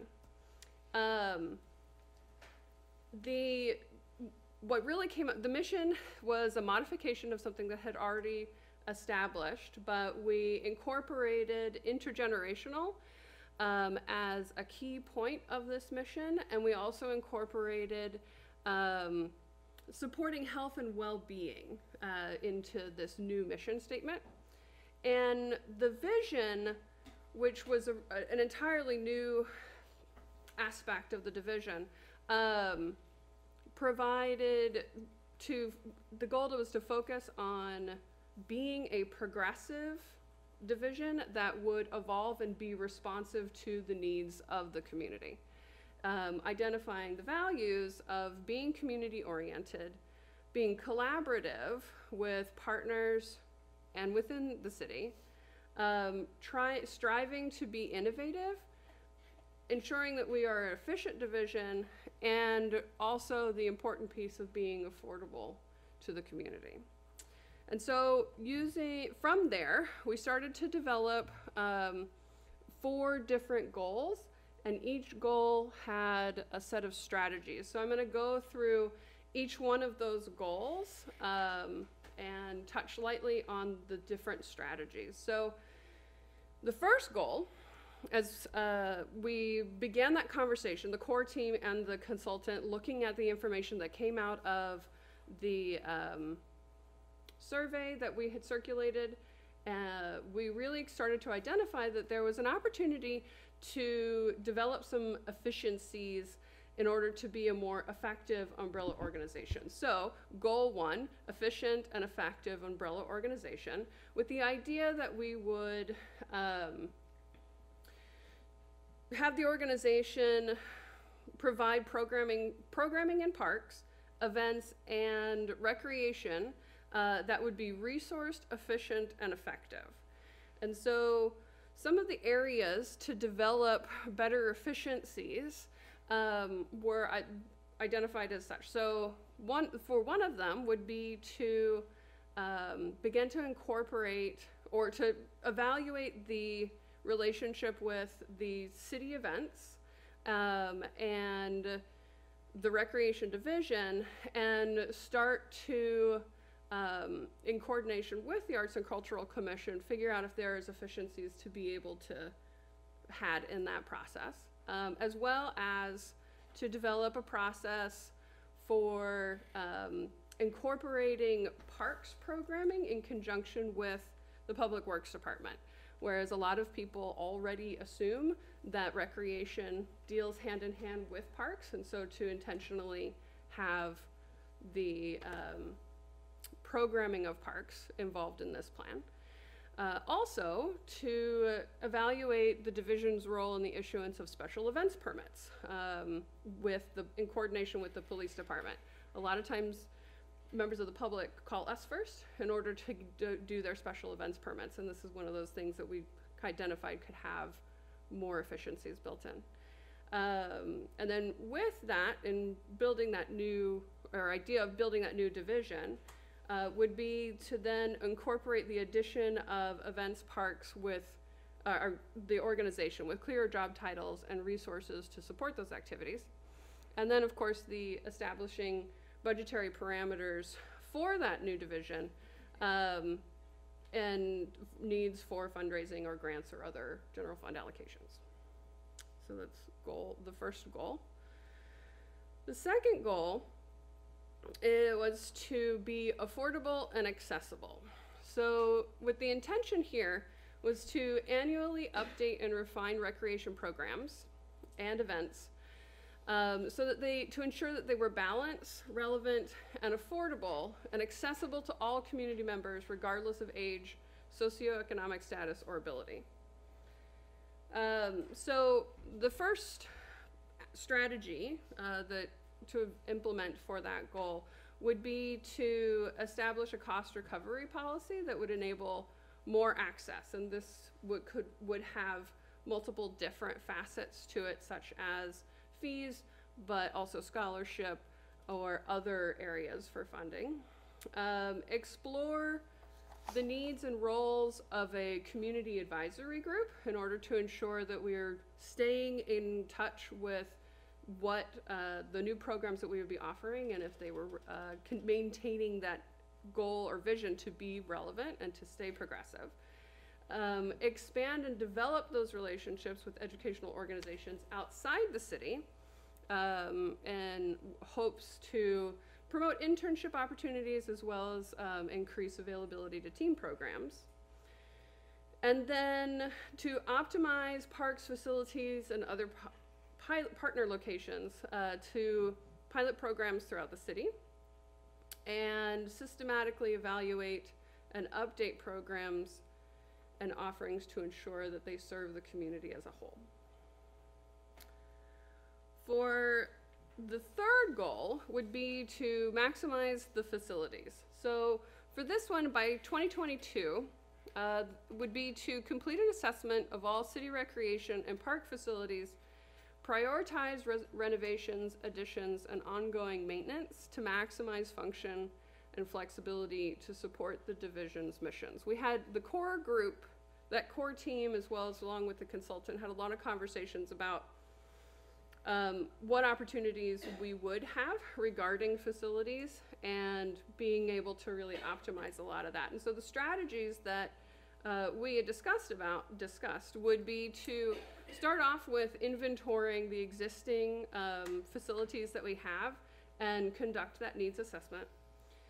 And then from there, prioritize those facility upgrades to ensure that we are supporting the programs that we offer and um, to improve the efficiencies and broad and sorry broaden services to the community. And then finally, to identify and help develop any additional park facilities um, associated with other resources or new developments. And then finally, uh, the, our fourth goal is the partnership piece. Um, so, in with this goal by 2020, to establish agreements with the school district, library, and other organizations to secure the use of facilities and shared use to expand the ability to provide a range of services. Um, and really, you know, we already have a lot of really great, strong partners, and this is building, continuing to build, as well as creating the opportunity for um, new partnerships. So, to cooperate with the school district, uh, to establish a long term MOU regarding the shared use uh, and programming of city and district facilities. Uh, to establish an MOU with the library for programming and use of those facilities at the new library. And then to foster relationships with other public as well as private, rec- private recreation events and park providers um, and amplify opportunities to serve residents. And then finally, um, to ensure that there is funding um, with partners and in order to have the benefits and shared resources of those cooperative services. So, my recommendation for you would be to approve um, the five year recreation strategic plan. And at this time, I am happy to answer questions. All right, is there any questions from council? None? Yes, Councilmember Storey. Questions, Thank you. Um, So we've been asked to approve um, the five-year uh, strategic plan. And I was just wondering, in, um, in your mind, what does that mean? Does that, what kind of commitment does that uh, put the city into? Um, so the the plan at this point is that kind of collection and analysis that the group and the consultant put together. And so approving this strategic plan is kind of that springboard to yes, we agree that this work is relevant and will make our division strong and please begin. um, so that it is starting the intent of um, these goals and strategies in order to ensure that we're going in a direction that, the, that is what the community desires. And at some point, if in any evaluative process, we decide, mm, actually, this isn't the right thing, built into the strategic plan is to continue to do that analysis um, to ensure that with this intent, we are trying to still be relevant and provide that, provide those services to the community, working with the partners and working within the city um, for those goals. If one, if I may go on, Please. Mayor? Yeah, if one of the strategies um, are to prioritize facility upgrades, um, is that a commitment on the part of the council to prioritize that over any other uh, budgetary needs? Uh, no, I don't think so. The um, the that language specifically was very thoughtful in trying to identify in choosing the word prioritize um, because there within public works there are a lot of different things to take into consideration um, and in, re- in relationship to the programs that are happening in relationship to the current status of where we're at because it may be three years down the road um, to look at that list and make those priorities. Um, I don't know if Steve or Jamie wants to expand on that at all. That's okay. I mean, it, either we're prioritizing or we're not. And it sounds like it's saying we're not really committing that this is going to be the council priority uh, in terms of our capital expenditures budget. So it's, it's not a pre-commitment to, It's not a pre-commitment. I, I think the best way to think about this is, is it's, you know, it's laying out sort of work plan items for recreation and a direction and a trajectory for Nikki and the team to be working towards. In and of itself, adopting, the plan doesn't bind us to any future action. It's Okay. really just laying, I think, out a general trajectory for different work items and things to come back to the council. Mhm. okay, thank you. Um, There, in reference to the um, Art and Cultural Commission and the events, um, with Parks and Recs serving as an umbrella organization over those events that the Arts and Cultural Commission has, uh, is putting on, has put on for many years. Um, My understanding is that has not been presented to the Arts Cultural Commission, this concept, and um, therefore they've had no opportunity to give feedback on it Mhm. at this point. Um, the same thing with Public Works, has Public Works and the Police Department given feedback uh, on, uh, on their roles in this strategic plan?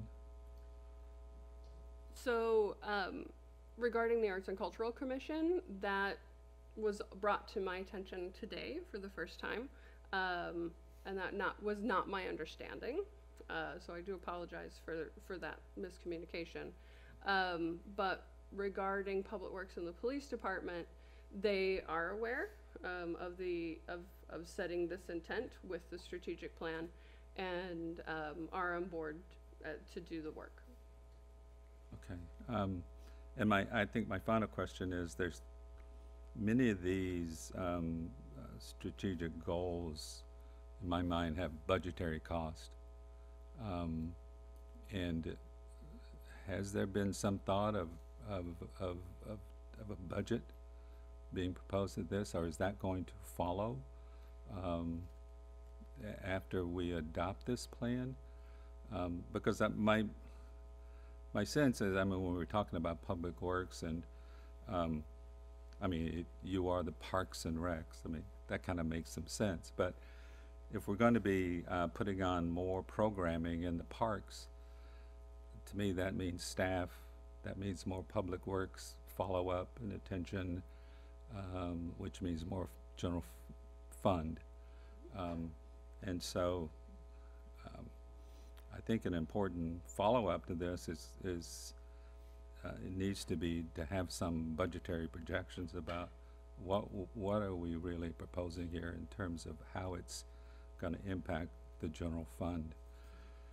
And as well as, you know, um, about making the programs affordable for the community.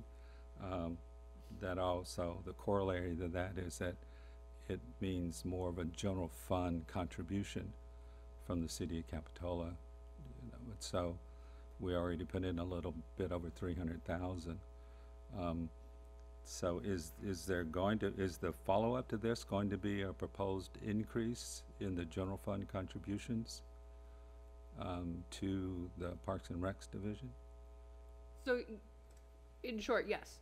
Um, the like I said, this the the plan, the intent of the of the plan at this point is to create the next work plan for the division for the next five years. And you're exactly correct. There's not the kind of micro details of a budget um, because in order to get there, a certain amount of work would need to be done in partnership with city departments and other partners within the community to really identify what it is that we are then going to do. And from there, a lot of those details that would then come out and materialize in budgets that you would then hear.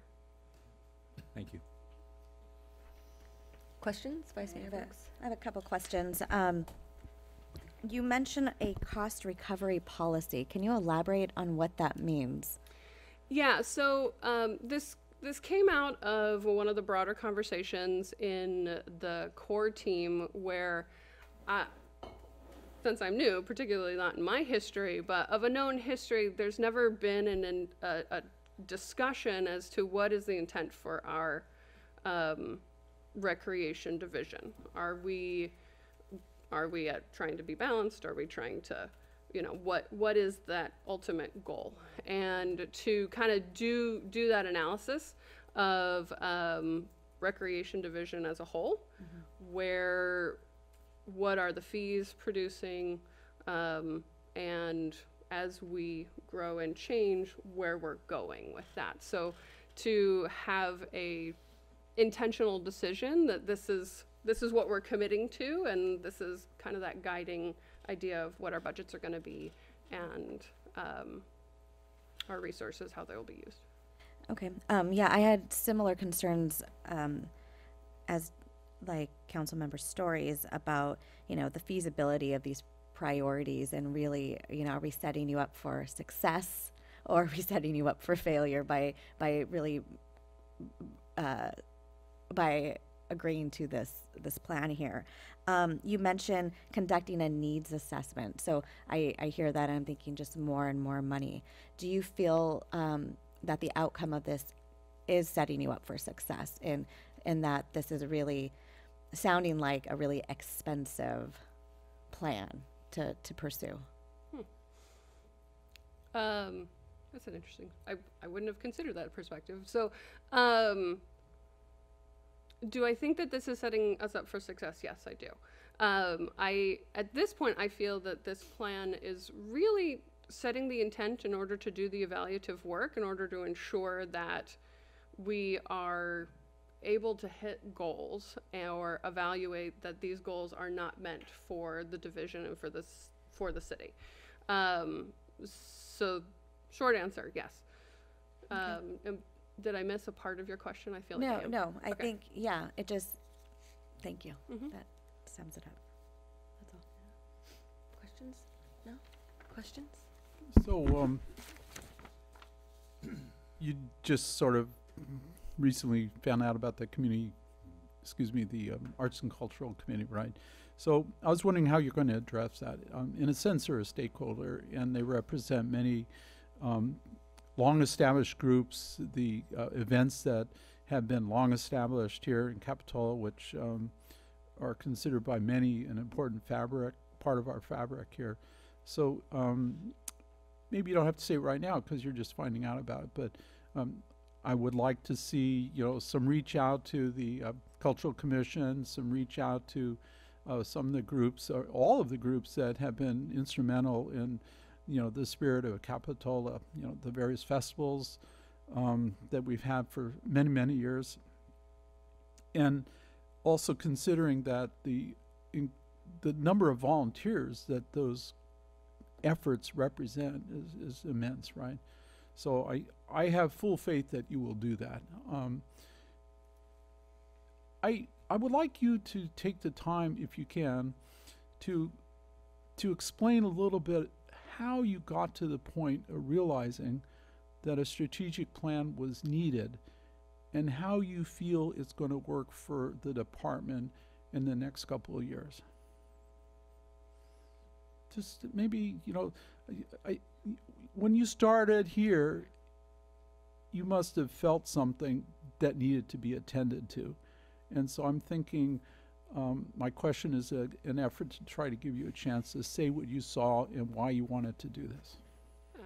Um, so when I started working with the city a little over a year ago, um, I entered into the division with the goal set before me is let's try and figure out what we are able to do. Um, that the division had been operating for a number of years at kind of a, a status quo for a bit, and we've had the opportunity um, with changing in staff in order to um, figure out what we would be able to do. And it is helpful to have guidance when you're making those plans. And so ultimately, when I started out trying to um, with the strategic plan, it was with the goal of providing for the community what they want and working and identifying, working with partners um, within the community so that we could be efficient. So, uh, plan is an excellent place to start with a work in order to just outline this is the work that we need to get done and be able to report back and say in you know a year or two this is the work that we've done and have um, a clear understanding that these were the goals that we are all agreed upon. Thank you. It's a very organized effort. Thank you. All right. Any further questions? No. No?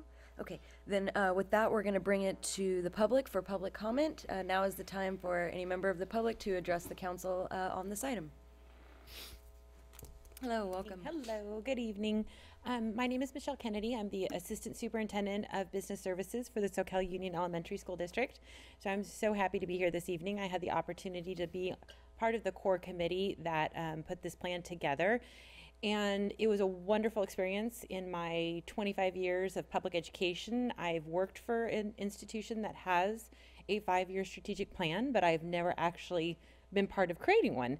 So this was a great opportunity, and um, I just wanted to let the council know the thoughtfulness and the time that Nikki and her team and the consultant put into doing this and getting a lot of input from all of us on the, the core team. Um, appreciated the effort, and I'm here on behalf of the school district as well to let the city council know our strong desire to continue partnerships with the city. Um, one of them, I'm very happy about is the one at New Brighton. Our after school, New Brighton's after school program uh, is doing very well. The kids seem to be happy. I have the fortune of getting to see the kids out my back window from my office. So that's always a lot of fun. So um, just wanted to let the council know. Thank, Thank you. you. Any other members of the public?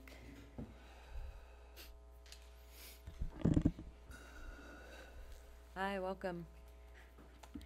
Hi, I'm Lori Hill. Um, didn't know about this, you know, until late last night. And um, and um, although I am an art and cultural commissioner, I can't speak on behalf of the commission. I'm not. I don't have the role of the chair. And um, and the chair just had you know just several questions um, with regards to Art and Cultural Commission. And thank you, Nikki, for reaching out to me. I, I appreciate that. Um, and I appreciate the kinds of questions that the council asked about the strategic plan. Um, very simply, my governmental career, my 35 years of government, um, started in recreation. And my first job was cost recovery programs. Um, that said, they, they never save anybody any money. Um, they help generate money to cover appropriate costs, and I totally get that. But um, they don't save anybody any money. Um, and also, to the point of working with the school district, um, my first job was with the city of Novato, and they had an amazing working relationship with the school district. We didn't have any facilities of our own, and we programmed the entire community through working with the school district. And um, it was just a dynamite relationship. Um, so there are a lot of things about the strategic plan that I think are, are really good. Um, and Nikki, you've been here for just over a year. Um, you haven't been through too many of the budget processes around here and really the, the, the hard arm wrestling that goes on because there are a lot of competing priorities. Um, what you don't see on your chart up there was, you know, you don't see the added division that is necessary to add to the recreation department in order to support some of the the um, the broader encompassing um, activities, particularly with regards to special events. And um, I would like to see a little more dialogue around that. Um, I'm a leader in doing community events, and there are several more like me out there um, that would like to know a little bit more about it because the, the strategic plan just didn't really spell out, you know, what what was going to be embraced by the, the recreation department and what was going to be, um, you know, left through some other process. So that said, um, thank you for going through this effort. Um, there are a lot of it that I, I would embrace immediately. Um, and at the same time, as a total strategic plan, I think it needs to sharpen its pencil in a few areas. And I would like to have, have and make sure that the stakeholders have had a chance to, to closely review it and comment. So thank you for your time. Thank you. Any other members of the public that would like to address the council on this item? Seeing none, we'll bring it back to the council for uh, deliberation and a vote. Uh, Comments? Councilmember Bottorff. Sure, I'll start off. Um, first thing I want to say is, Nikki, th- this is long overdue. Okay, um, I'm I'm a little put off by some of the comments tonight. Um, I I've seen the city be fractured with the way it delivers uh, recreation for so long, and and uh, with the hiring of Nikki, I think we're beginning to fine tune recreation, realize this is the correct place to pick up things like special events that we dumped on the police department, which doesn't belong in the police department. Police department should be a sign off to make sure that there's no problem or conflict with those, but those special events should fall under uh, something like recreation. Or they were in the city manager's office, or Larry did it. We just said, Larry, you're the catch-all, fix this, okay? Which wasn't the appropriate place. So I'm excited about the strategic plan. Um, I'm liking that this is picking up events and things that we do that we just didn't have a place to put them, and we're putting them all under one great word, umbrella. Um, uh, with regard to um, strategic plan, uh, I remember I got on the, uh, I started, well, let's see, before I was on that, I was on the commission, but I, I got on, ended up on the general plan committee because it was the general plan, which what is a general plan? It's like a strategic plan. It's not how we're going to do anything or how we're going to pay for it, is where do we want to go? And I think what this is, is a vision of where do we want Capitola to look at something. Just like we had the Begonia Festival on the beach. It's like, wait a minute, the beach is a park. That should be run by parks and recreation, just like when we run junior guards, it's on the beach. And we have artists set up in the Esplanade, it's in the Esplanade Park. So this, to me, just makes common sense about where we should be going. What's going to come out of this is, is what Nikki's going to do after we adopt a general plan or a strategic plan, which says where we want to go, is how are we going to get there? And that's going to be an action plan, and that's going to be where the money comes in, where ultimately everything that happens happens with this body voting to whether they want to endorse something, approve something, move forward with it. Uh, when I started the, my political career in this town was on the parking commission, you know, and that's, we have five or six commissions that I had got into a, a philosophical discussion a few months ago that we, I have to remind the commissions, because the first thing I did when I started receiving these letters from the Art and Cultural Commission was, commissions serve at the will of the council. Let's not lose sight of that. Even the planning commission serves at the will of the council. We appoint them. We, en- we entitle them to do and make decisions about building in the city, and I appreciate all the hours and the diligence that all these commissions put into it. These are people that love what they do. When I was on the parking commission, I loved making decisions, but it would, all came under the guidance of the council directing them. One good uh, benefit of the Arts Cultural Commission is, is we've tied that to a building fund where they generate hundreds of thousands of dollars that, that the uh, Art and Culture Commission has been able to turn around and, and, and put beautiful art throughout this city. It's one of the most beneficial programs that we have. But nonetheless, it's like, you know, I got into a discussion about, you know, well, we want to uh, refer the, the Arts and Culture Commission to look at something. And it's like, well, we have to ask them. It's like, no, no, they, they work for this council. And, and, you know, you need to be clear about what your role is. And just like when we're up here and we vote on something, our role is to make a decision that we feel is most beneficial.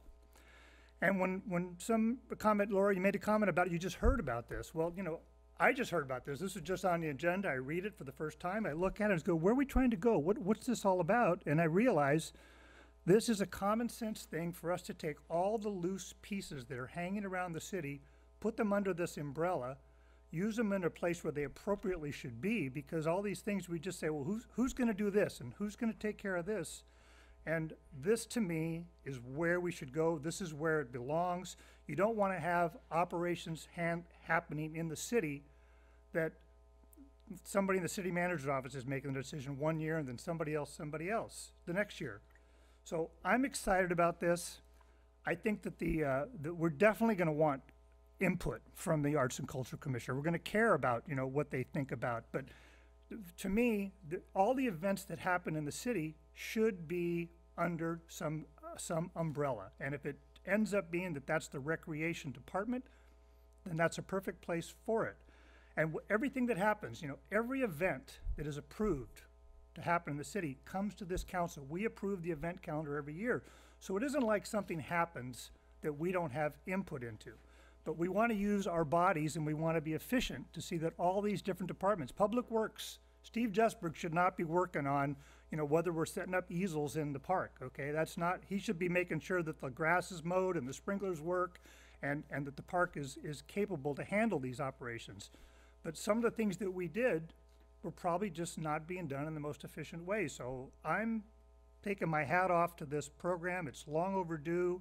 Um, uh, are we, do we need a motion to, what's, what's the recommendation of this? Is there, we need a motion to adopt, it? make a motion to, I'm gonna make a motion to adopt the strategic plan. Second. Thank you. We have a motion second, continued discussion? Yeah. So, um, I was on the committee, and, um, when we're coming up with the stakeholder group, I think we missed a beat there, but I have full faith that this will be recovered.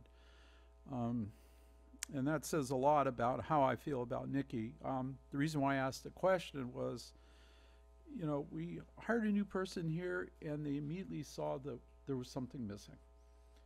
And, you know, if you're going to be effective in what you're going to do in any particular effort in your life, having a plan that's structured and organized, and in this case, um, many people were involved in putting this plan together. It's reached out to major uh, stakeholders.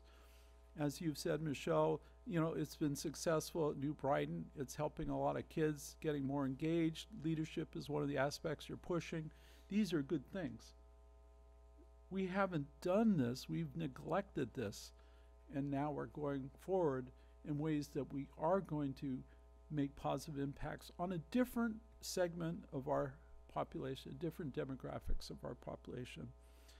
Um, you know, since Kristen and Yvette have come here, we're swinging towards trying to identify how we could reach out to our youth, and we have some money to do it.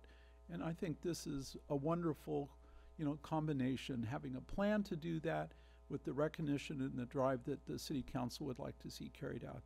I'm, I'm all for it. Um, I'm not worried that some groups, uh, weren't approached initially, because I know you're gonna do it now. That's how I feel about it. Um, I'd also like to say, uh, my first involvement in the city of Capitola, I was on the recreation committee, and it was just very bland. We didn't do anything. We didn't have a plan. It was just looking at the budget each year. And there was no drive for new programs. There was no uh, outreach to different groups that would potentially want to be involved in creating new things in the recreation department. Nothing, period. So Rich Hield, the last, well, you might know, Lori, Rich Hield, the last city manager, said, you know, there's just no use for this. You know, why spend staff time doing it? So um, it was discontinued. Um, so there is a proposal here to explore a new a new aspect of a committee that would uh, make this strategic plan more meaningful to the people in Capitola. So with this kind of program, with this kind of um, plan looking forward, I think there could be a use for a new committee like that and reaching out to other people in the community that would like to be involved in improving our recreation program. So um, it's all positive to me. So thank you for doing this plan. Appreciate it. May I respond? Yes, please. Thank you. I don't see how we can adopt a strategic plan when one of the major stakeholders have not even been asked to participate. Okay, the Art and Cultural Commission has not been presented with this plan, given the details of what it means. And it doesn't say to consider or discuss, it says plan for and incorporate the city events into the Parks and Recs division. So I know some of you care, like the top-down approach. I don't care for that. I think that if you're gonna have a plan, you have everyone an opportunity to give their input into it before you pass it. These events are not just loose and floundering around in the city. They're being well-run by volunteers at almost no cost to the city. And now you're just going to tell them they're going to come under some other auspices without even hearing from them before you do it. So there's a lot that is good in this plan, but I think that's the one major failing. And I don't see the reason why, in honor to the Art and Cultural Commission volunteers, we don't just delay this so that they can study it, meet with Nikki, talk about it, and give us back their input. There could be some great synergies that come out of that, but you don't know because there's no specifics in here. So this is not a guiding principle. It's, it is specific marching orders. Um, so that's the one uh, issue that I have and why I'm not going to support this motion. I think this needs to just be put over. It doesn't start until the fiscal year 2021. There's opportunity to uh, honor everybody's input who may be impacted by whatever's going to come from this plan. Uh, it's unclear to me. Uh, so um, I'm also concerned about that, that there's no budget projections in this plan. Uh, there's obviously budget implications, but we're adopting something and um, saying, well, the action plan's going to come later with all these dollars attached to it. Um, and we may or may not see whether we can fit that into our budget. Well, I think that that's putting uh, the cart before the horse. I think you need to have some sense of what the expenses are going to be before you adopt it. Have staff spend all the time developing now these concepts which have monetary costs to our general fund and have it come back and us realize, oh my word, we have many other priorities. We can't possibly approve these additional staff, either in Public Works or Parks and Recs, or if we have a downturn. I just heard that about the mall being shut down. We're gonna have significant budgetary constraints over the next few years. Uh, but we're adopting a plan that is going to impose additional costs on us without us even knowing what those costs are going to be. So it seems to me worthwhile to spend the time to study it a little bit further. I don't see the need to rush into this plan at this point, and uh, I think it should be fleshed out a little bit more. Um, and um, so I'll just leave it at that.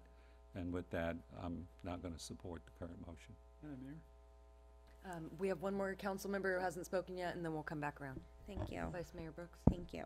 Um, you know, I appreciate everyone's input so far. I think I'm I am actually in agreement with Councilmember Storey on this one that there um, all stakeholders should be talked with before being included in a plan. I think it's really important that they're um, that we receive they receive that kind of opportunity. Um, I believe in plans. I think it's a great idea. I I we we're in dire need of something like this, but the one element that's missing here is um, receiving feedback from from this group. Um, Councilmember Bottorff made a really exceptional point that we are the leading force in this. We are the ones who make the decisions, and everything comes to us. But with that aside, I think that this group should be given an opportunity to to give their input because they're clearly laid out in here. Um, what does that mean to them? You've had that uh, Public Works and the police department had that opportunity, and it would only be fair. Um, in regards to the budgetary piece of it, plans are plans.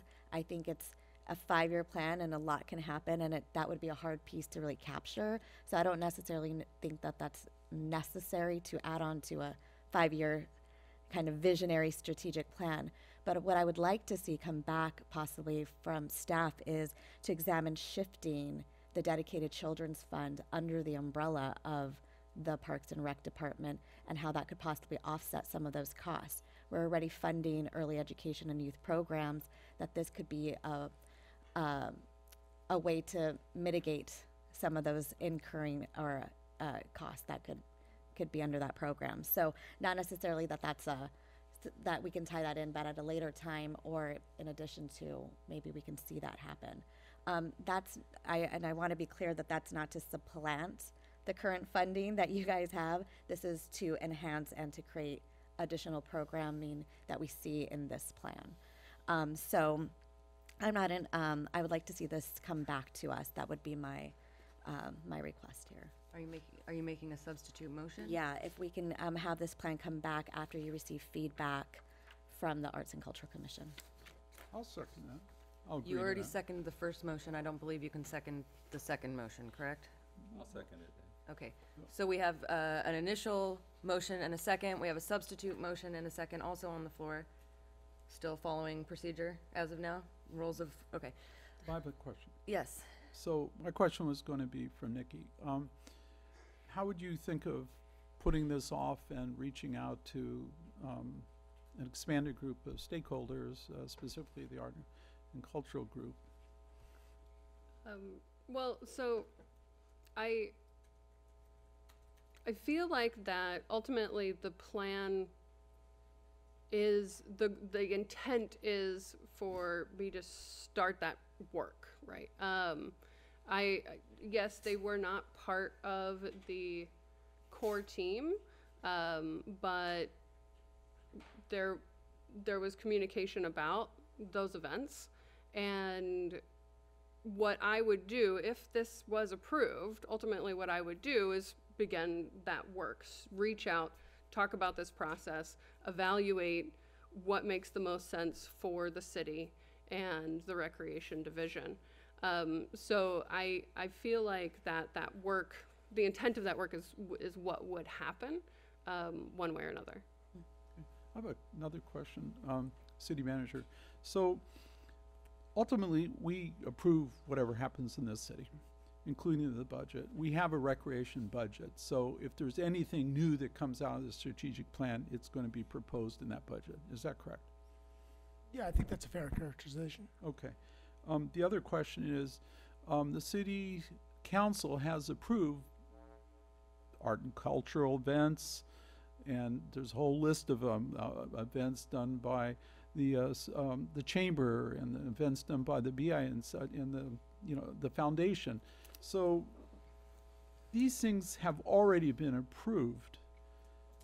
I don't know anything about that we keep reapproving them every year. What, what's the process? It seems to me that they've been going on forever in a sense, you know? What, how do we deal with that?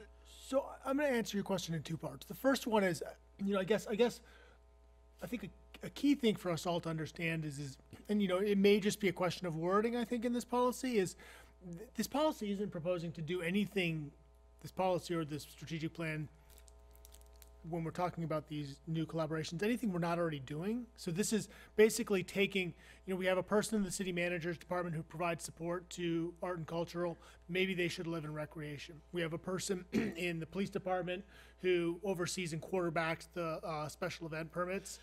Maybe that should live in recreation. So this isn't a question of doing something new. It's a question of kind of where we put the bodies and how we organize them to provide the best overall capacity and support for those different entities. So this isn't a question of recreation is going to like take over the old Begonia Festival and organize it. That that's not at all. Just so we're clear about what we're talking about. To go back and answer your question a little bit more forcefully or directly, you asked about this history of the special events. The special events come in two flavors. We have these minor special events, which staff can approve, and those are you know relatively small events that have fewer attendees. And then we have the majors, and those are all the events that we know. The majors, if they don't have changes, can be reapproved by staff every year, year to year. We do an annual report in November. We summarize, here's what happened this year, and then at that point, council members can say, and we identify if there was any issues with the uh, special events. At that point, then you can pull a special event and say, you know, fireworks this year were a real problem. We have to take a hard look at that special event permit, at which point it would come back to you. And then any new major special event would come to the council. Yeah, so ultimately it's up to us. And as far as I'm concerned right now, is it true that these events are standing fine? If there's any changes, you'll come back to the city council. That's correct. Okay, so, um, I want to give my faith to the process here. And I fully appreciate the effort and I have total faith that it will be carried out. Um, I do not think that this is a city that's going to ignore the other aspects that are strategic partners in our community. And I think this program is going to start reaching out to all of them to try to see how they fit in. But on the other hand, I, I go with the sentiment of Sam and Yvette. If we take a period of time to reach out to the art and cultural and the other groups that are putting on events in this city, would that hurt this process? Would, would this be something that would like dampen the effort? Do you, do you feel that it would have benefit that you could incorporate into their strategic plan and, and reflect some of the issues that might come up?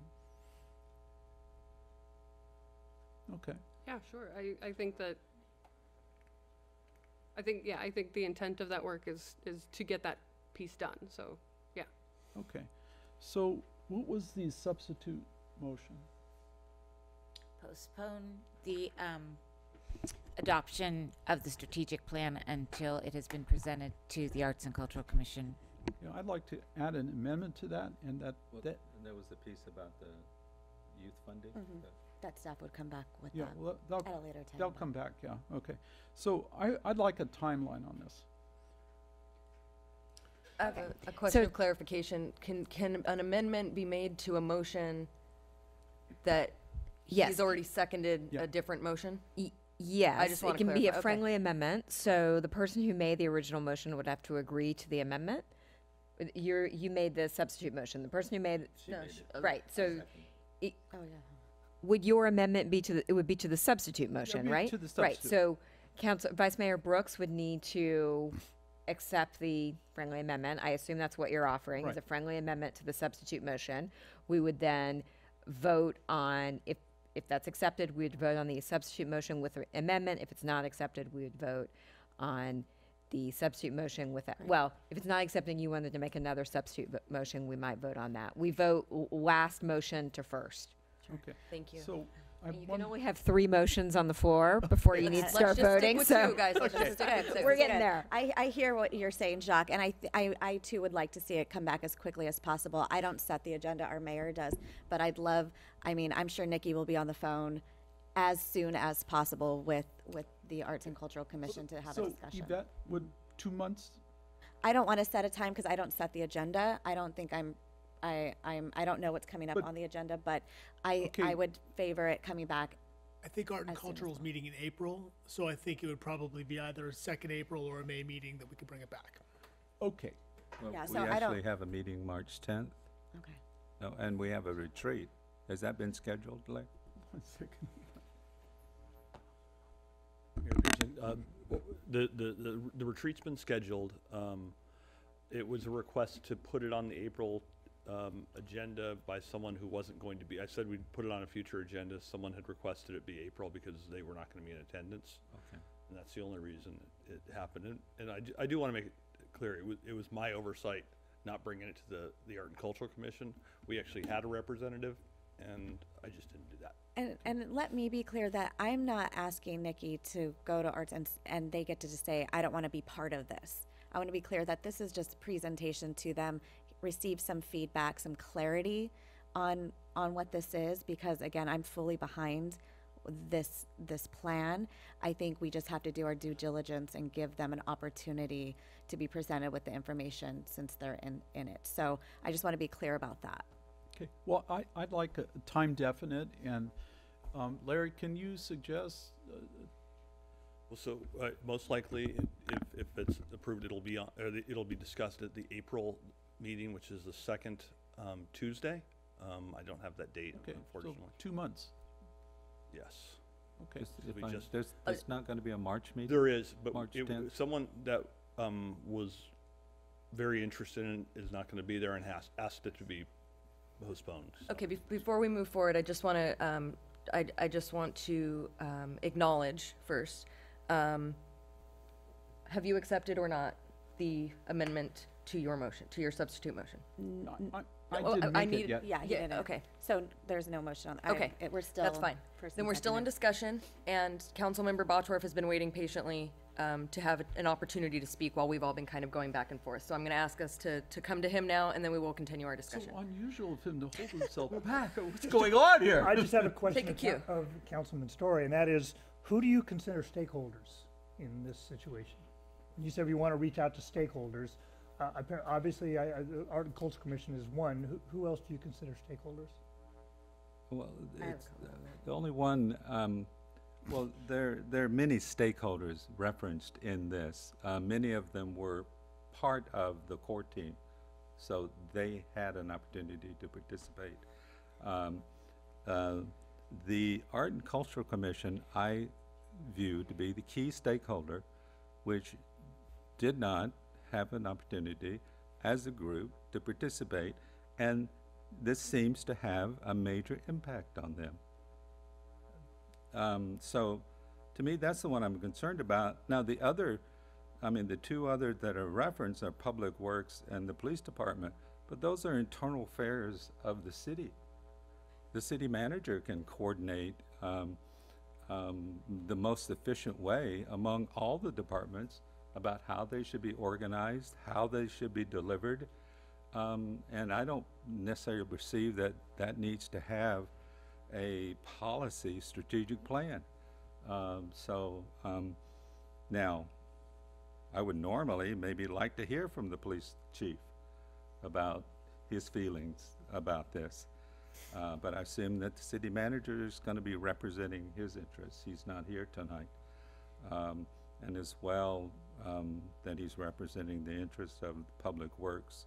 So the key stakeholders who are community individuals who are impacted by this, that's the piece I think they need to have an opportunity to hear this um, and to be able to um, at least be introduced to it, uh, to uh, and maybe they will have all come together and realize that there can be some great benefits here that they will embrace.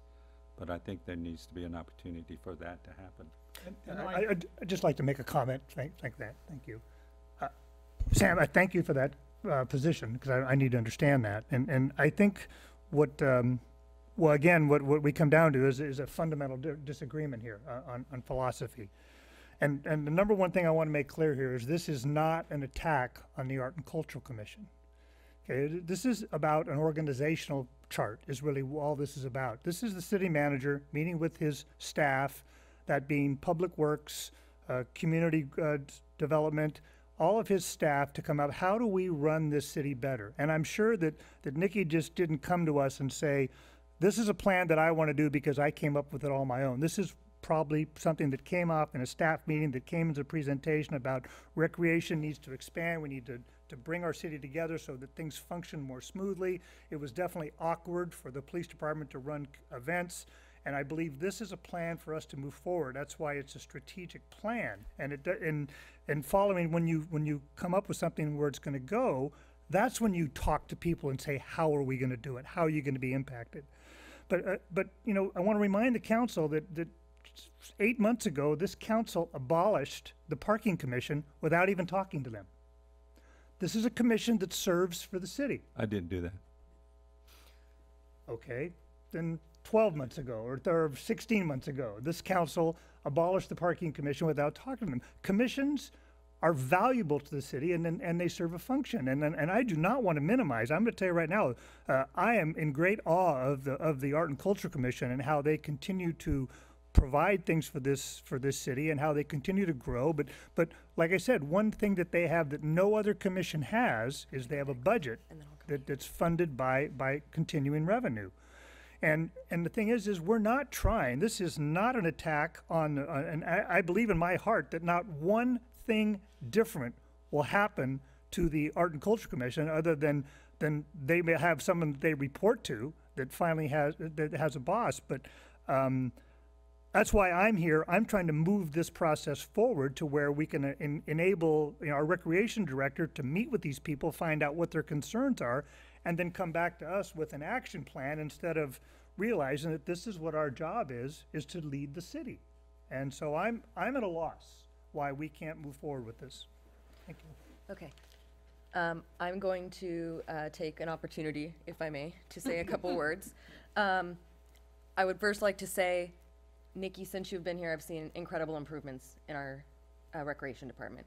The after-school program, the food truck event was really exciting, and I've wanted to see some kind of food truck event in Capitola since forever. So you've done amazing work, and I know that there's only going to be more amazing work that you're doing here. I can't thank you enough for what you've done for for our for that for your department and for the city as a whole.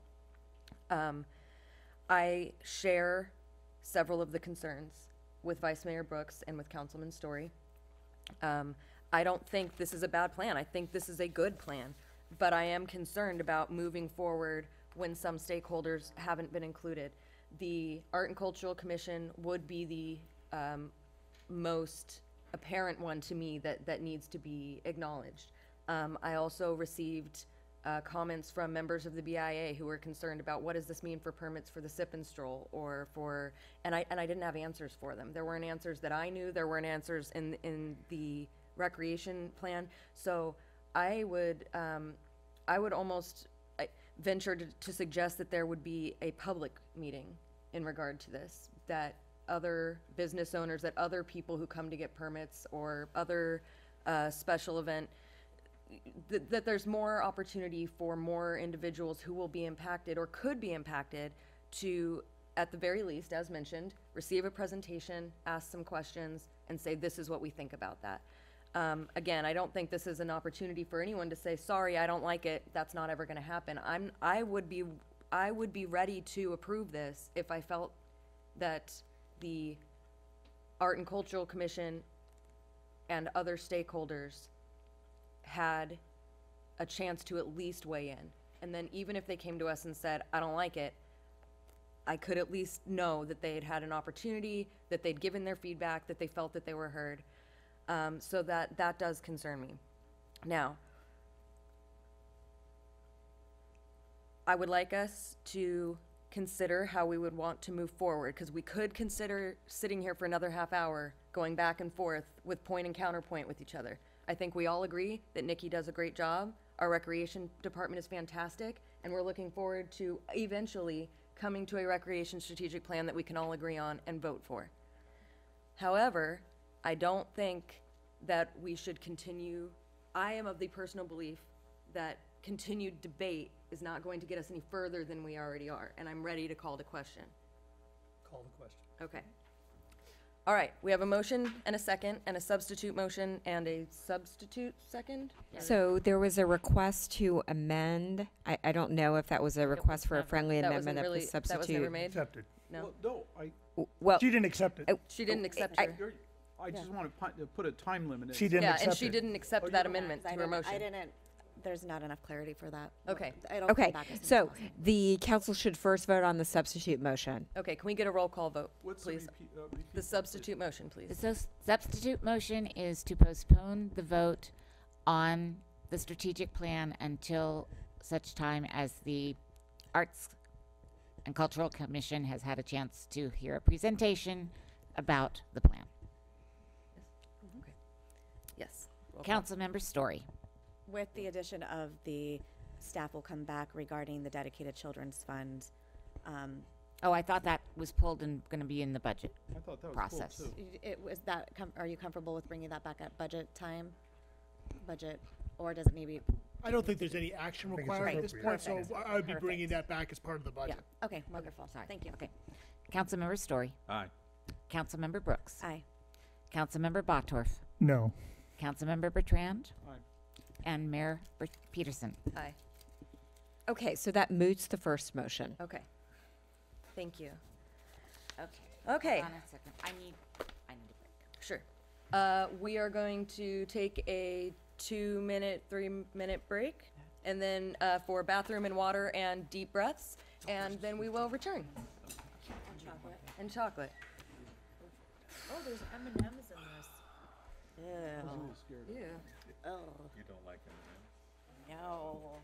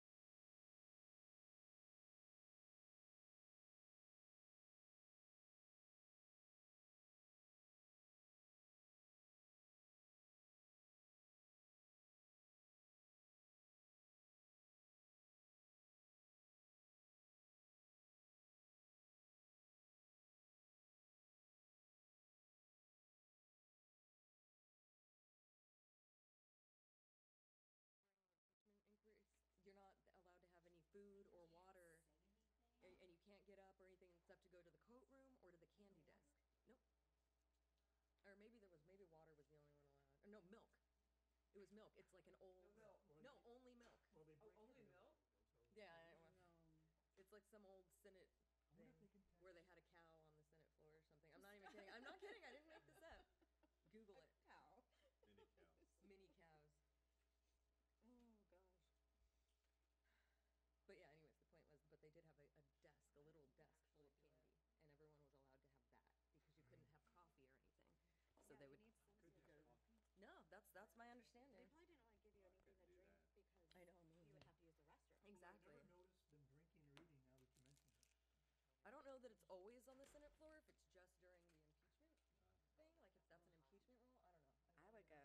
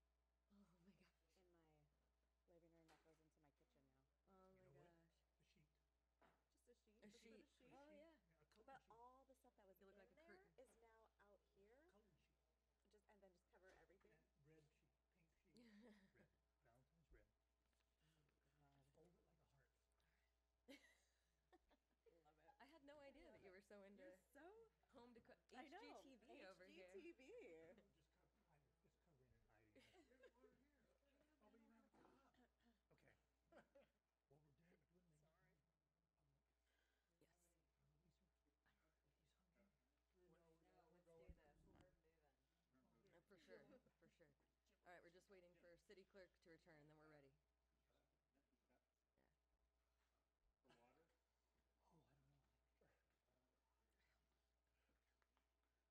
Let's pull it together, guys. Jeannie, did you see my cup? Oh. Is that adorable or what? Who is that? Baby Yoda. This is the way. Yeah, it's from Mandalorian. I wasn't really into it, but now I am. Baby Yoda? Yeah. No, no, no yawning. We're, we're, we're doing this.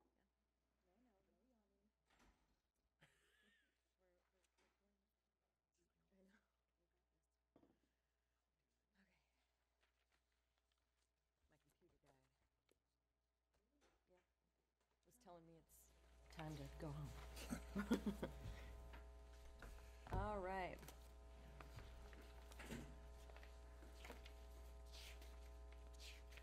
Are we ready to return? Can return.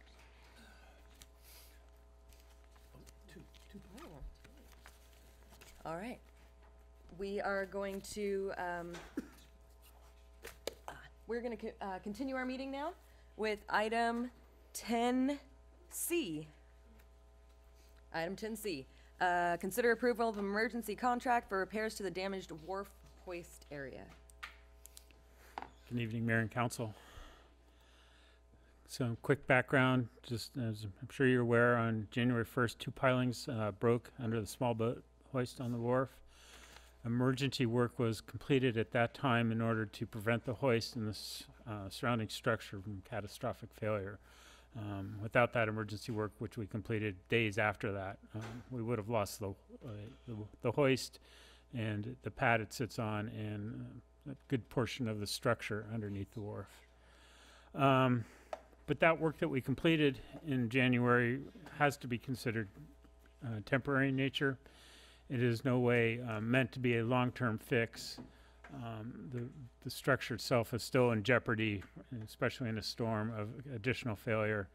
In addition, the hoist uh, is inoperable until repairs are made, and it prov- um, provides a significant impact to the uh, boat and bait shop uh, on the wharf. Just a reminder, this is what that failed area looks like. These are the two piles that are supposed to be straight up and down that are kind of bent right now.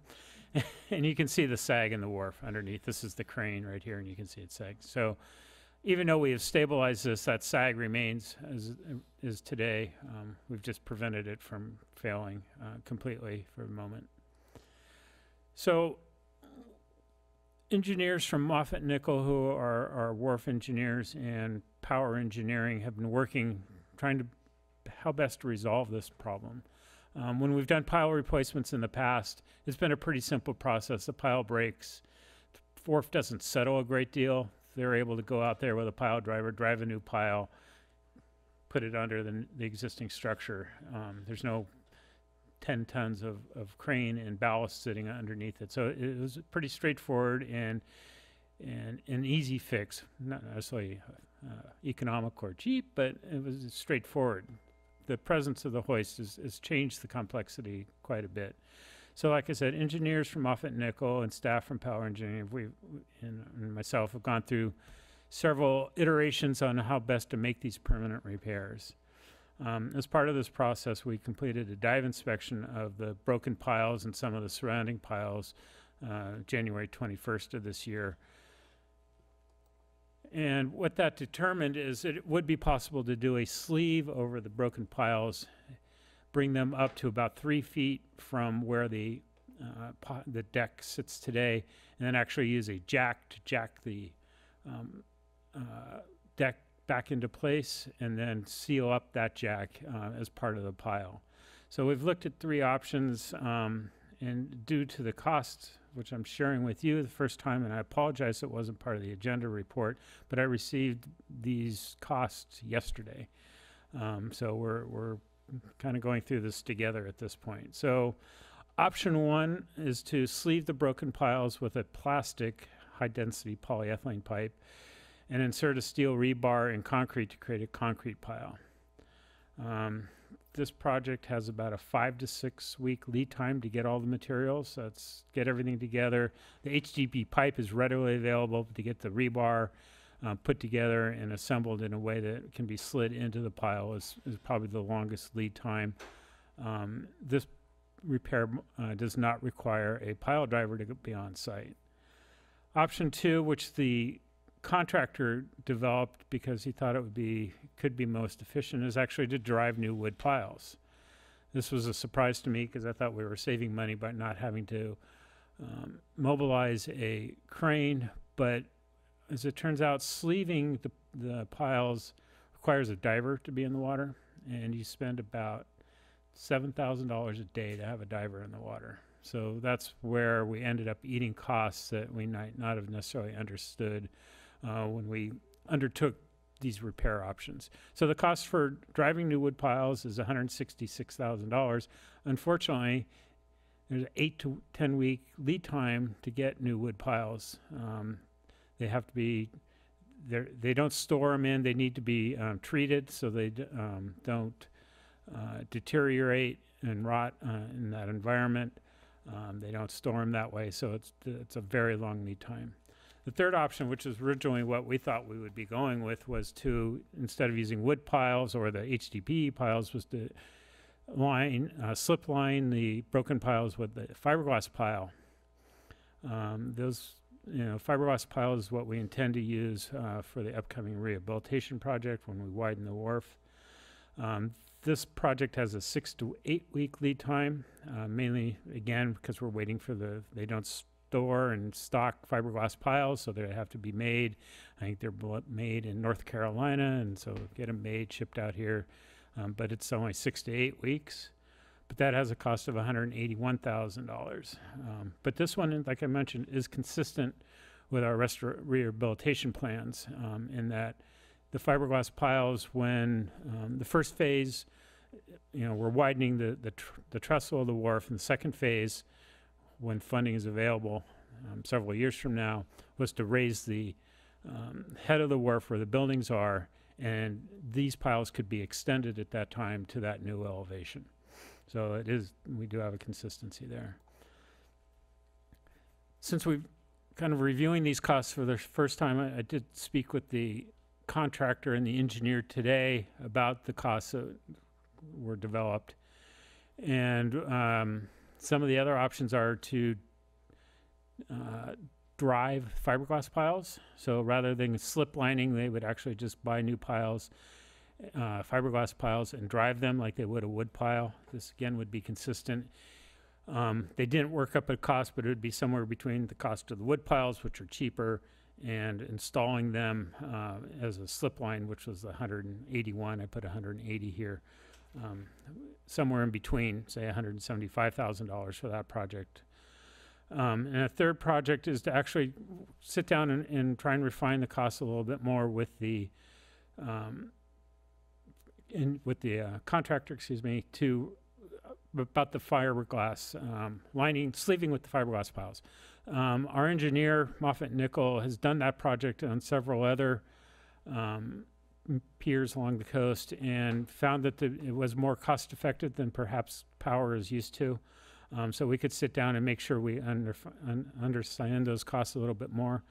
As a part of this, we could also consider that um, you know, two of the piles are underneath the, the hoist and absolutely need to be repaired. Third one is uh, right outside of the restaurant. Um, while it be, it, it definitely needs repair. We it could be potentially deferred at this point. Um, again, we, with the fiberglass piles, we'd have a six to week lead time, and you know, we'd potentially have a cost savings from the estimated one hundred eighty-one thousand dollars. So what we're asking you tonight is to adopt a resolution declaring an emergency with authorizes procurement of services without giving notice for bids, excuse the typo there, pursuant to the Public Contract Code 22050. Um, and that action would require a four-fifths vote of the council. As part of that action, the asking to authorize the city manager to enter into a contract with Power Engineering Construction with the following, using fiberglass piles, which are consistent with the future rehabilitation project. And the reason I'm pointing that out is with this approval, we can get those ordered tomorrow or, you know, early next week. So we get that six to eight week delivery time going as quickly as we can while we're finalizing exactly if we're gonna drive them or we're gonna slip line them, and what's the most efficient way to use those piles. And I'm asking for a, um, cost not to exceed hundred and eighty thousand dollars at this time. That's my report, and I'd be happy to answer any questions. Thank you. Any questions? Councilmember Bottorff. Option two B was for three pilings. That would be do the one under the restaurant and the two under the uh, hoist. Correct. Thank you. Councilmember Bertrand, you had a question? Um, relative strength, fiberglass wood. They are equivalent. Um, there's probably more strength in the fiberglass in that they don't, do not erode and corrode or, um, aren't subject to the environment as much as the wood piles are. So they, they will certainly last a, a lot longer and won't deteriorate over time like the wood piles do. So, um, one thing I've often wondered about sleeves and concrete and all that sort of stuff, there's a motion, you know, the flexes and stuff like that, so would there be any, um, forces generated because one flexes a different way than one's that's wood or something like that, and would that, So the concrete piles, if they get driven, are not filled with concrete. So they ha- actually have a little bit more flexibility than the, in the, than the wood piles do. Um, when we, if we do the slip lining, then they would get filled with concrete, and that's more for a horizontal um, or vertical structural element. Uh, I've talked to the engineer about, you know, different periods of motion for the different piles. And if, even if the concrete were to crack because they would be a stiffer pile than the wood piles, you would still have the vertical um, support you needed. And the concrete, and again, the, the fiberglass piles are structurally equivalent without any concrete to them to the uh, wood piles. and the one near the rest, that's the one that's been out there a long, Correct. It has a, a, a strong back, as we call it, over the top of it now. Councilmember Storey. Yeah, um, Steve, will the one eighty cap work? When, when I noticed the sleeve with fiberglass, um, was estimated at a hundred and eighty-one, five thirty-eight. Yeah, I think um, I anticipate that we're going to be able to find some savings in there. Um, Sure. Yeah, I'm, I'm very comfortable with that. All right. Uh, If, now is time for public comment. If there's any member of the public that would like to address the council on this item, now would be the time. Seeing none? All right. Okay. I'll- I'll speak for Frank, if I may. He wants it done as quickly as possible. He needs his hoist back. We all do. Okay. We're going to bring it back to council for uh, deliberation and a vote. Are there any comments? Councilmember Uh, Bottorff? If you can bring back the slide for option two B, Steve. Yeah, I, I'm gonna make a motion, we, uh, authorize staff to proceed with option two B, three pylons. So you want to do all three for sure? That's three, yeah.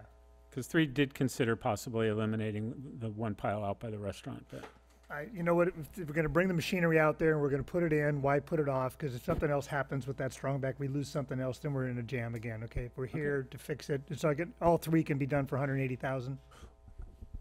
yes. Correct, and then my motion's for option two B. Can, We have a motion and a Can I- second. can I Councilmember get Storey? clarification? I thought you wanted the option to either drive them or sleeve them. Do you want to drive them? Our, our recommendation was to give us the flexibility because I think our engineer has estimated that option, Well, that's, option Two B, three B. three B, which was the sleeving them, should have been about half of that. And so we were trying to work with the contractor to figure out where the costs were. So that was why we, we were thinking, we're hesitant about driving the piles, because we were thinking there was about hundred and eighty, and we were hoping that the sleeving option should be around hundred. The bid came in higher, so we were gonna try to, we, what we're asking the council to do is give us the authority to go up to one eighty. If we can't get the sleeving option down, then we may need to drive, but. Okay, that, that, that, that wasn't clear in my, in my motion, Sam, and I, I appreciate the comment there. I, I'm under the impression that, that everything is around hundred and eighty thousand, because I don't see another number here that says that it's gonna be hundred. What scares me is, is like other conversations we've had with, with something like maybe wires, is that all of a sudden we think it's hundred thousand dollars, and then the, the, the, the- the sleeving is one fifty.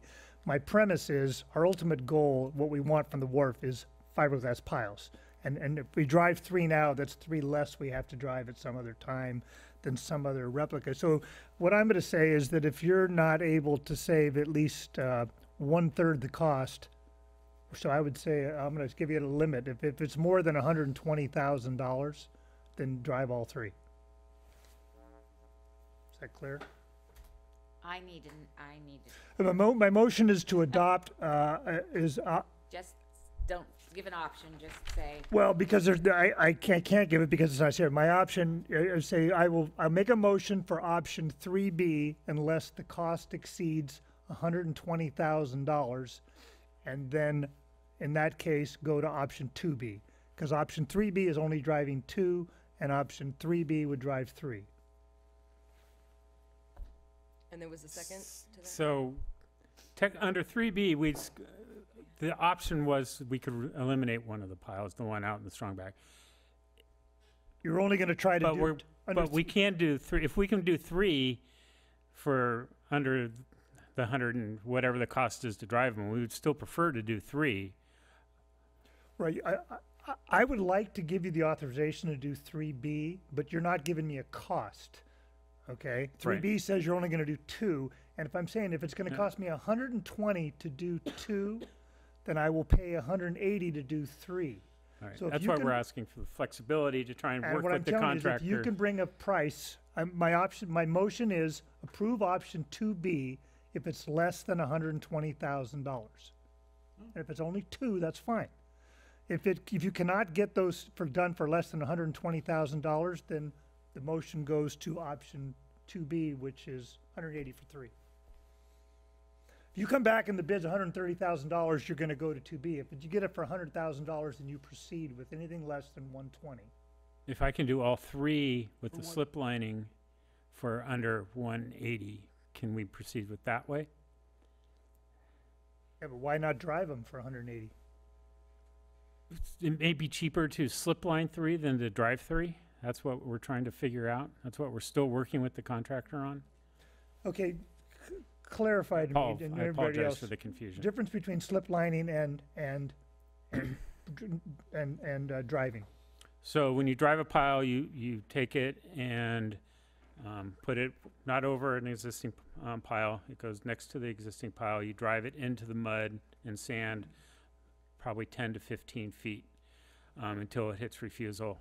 So it, it's, it's a longer pile. It is structurally sound from one top to the bottom. The slip lining project, what we're doing is we're utilizing the pile that has broken, but it was still viable um, down at the dirt level or the sand level. Um, that's why we did the dive inspection. We determined that that stub, if you will, is still a viable s- structural element that can be used as a foundation. So we would slip line and probably c- create a three to five foot interface between the s- fiberglass pile and the wood pile that's remaining, and then um, use that as the structure from then on. And then we'd fill it with concrete so we have a continuous column connection between Okay, the So our wood new fiberglass pile is based on a wood f- pile that's Foundation, already in the right, ground. right. Which may or may not have a, a lifespan. It's No. structurally sound right now. And they don't deteriorate as quickly on, in the mud. I mean, the, the engineer's the one who said this is a very viable one, and I, and I trust Moffatt and Nichol in this regard. You know, it, it, it, it's, it's very hard for us to bid on something when there's not a cost, because I'm, I I'm trying to that. analyze something and I I don't have a number, and, and it, it makes it very awkward. Um, So in option three B here, let me try this again, is, uh, as the city manager said, both the engineer and I were surprised the cost of sleeving with the fiberglass piles was as expensive as it was. So I was trying to find a way, um, because the costs were so significant, to do still the sleeving and find a w- a more economical way for the city to proceed and get the, the hoist back open.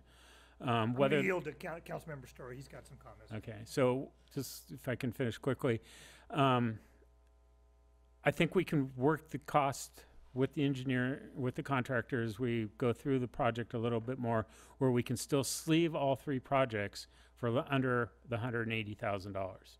That's w- one of my goals. If we can't, then we would go back to driving the three piles, which we know would be less than hundred and eighty thousand dollars. Um, I apologize, we don't have all the costs. Like I said, it's, it's, it's kind of, as an emergency project, we're, we're, we're going as fast as we can at this point. Councilmember Storey? Yeah, thank you. Uh, If we sleeve them, will that retain its integrity um, when we do the wharf rehabilitation? In other words, they can just stay as they are sleeved and fit in with the rest of the, that rehabilitation work? Yes. Yes. Especially out here because uh, Okay. part of the rehabilitation doesn't, we're not raising or changing the um, structure at the head of the wharf where the, where all three of these piles are located. Right, okay. Okay, well, hearing that, I, I think that we should give them the option of either driving them or, or sleeving them with fiberglass, uh, and at the best bid that they can possibly get, but give them the option to make that determination at the time. I'm sure that they'll make the right choice. So a maximum of one eighty using Oh, right, fiberglass? yeah, they, they requested a maximum of Right. one We know we But can- I don't, uh, there's already a not a mo- motion, I don't wanna, I don't know what the motion is. yeah. That's what I'm Well, trying to the get. motion was for two B, I made a mo, I- right, with a. can I withdraw the motion? Yes. I withdraw the motion. Thank you. Well, I'll make a new motion that um, we um, authorize staff uh, to, um, oh, actually, that's option three B, right? To either uh, drive them or sleeve um, the um, um, pile, or the pilings, yes, uh, with a cost not to exceed hundred and eighty thousand. Um, And, you know, and if they can get three for that figure, great, go for three. And I would add to the motion, if I may, if I may suggest that you add to the motion that you also um, i- adopt the resolution which includes a declaration of Of the emergency emer- Of course. and authorizing procurement services without giving notice. Yes, so that's included verbatim. We have a motion. Do we have a second? Can I just ask a clarifying question? I think, do we need a second before we continue discussion? Okay, we need a second before we can continue dis- continue discussion. Do we have a second? Okay, we have a motion and a second. Discussion continues. Um, regarding the timeline, there was two different timelines out there depending on the options moving forward. Either we drive them or we slip cover The them. option was, the timelines were more if we were using wood piles, had a eight to 10 week lead time. The s- fiberglass piles have a six to eight week. Okay. And we're committing to the fiberglass as part of the motion, as I understand it. And so that's the timeline we'd be looking Okay, at. thank you. Any other comments? Okay, we have a motion and a second. Um, Because this needs a four-fifth vote, I'm assuming a roll call would be best. Let's do a roll call. Councilmember Storey. Aye. Councilmember Brooks. Aye. Councilmember Bottorff. Aye. Councilmember Bertrand. Aye. And Mayor Ber- Well, I'm sorry, do- doing that tonight. Aye. Ah, Thank you. It's been a long, it's been a long one, no worries. Uh, We're gonna move on. Far from hundred percent. Thank you. Um, Item 10D, introduce an ordinance amending portions of Municipal Code Title II, Administration to update and clarify various sections. Various sections. I'm doing the report and Jamie's doing the tech. Thank you. And Once you have it open, I can open it here.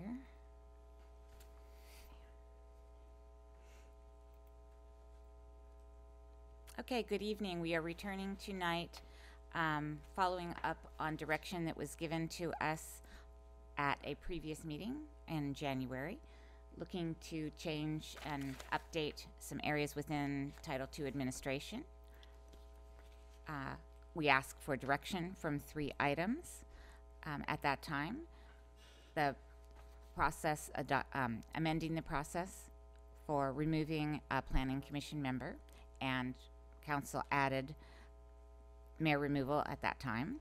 Um, referring items to an advisory body, and uh, whether an advisory body chair should still have the ability to place items on a council agenda. And the proposed ordinance reflects your direction on those, and we'll go through those specifically. And then um, we also have a number of other cleanups. So the first um, appointment gives two options. So either the person who, the council member who made the appointment can remove a planning commissioner, or a majority of the council can also um, vote to remove a planning commissioner. You are leaning toward four, but ask us to write it, come back and make sure what size majority you want. So right now it's three to three or four um, council members to remove a commissioner. So our, our suggestion for tonight is probably work these things.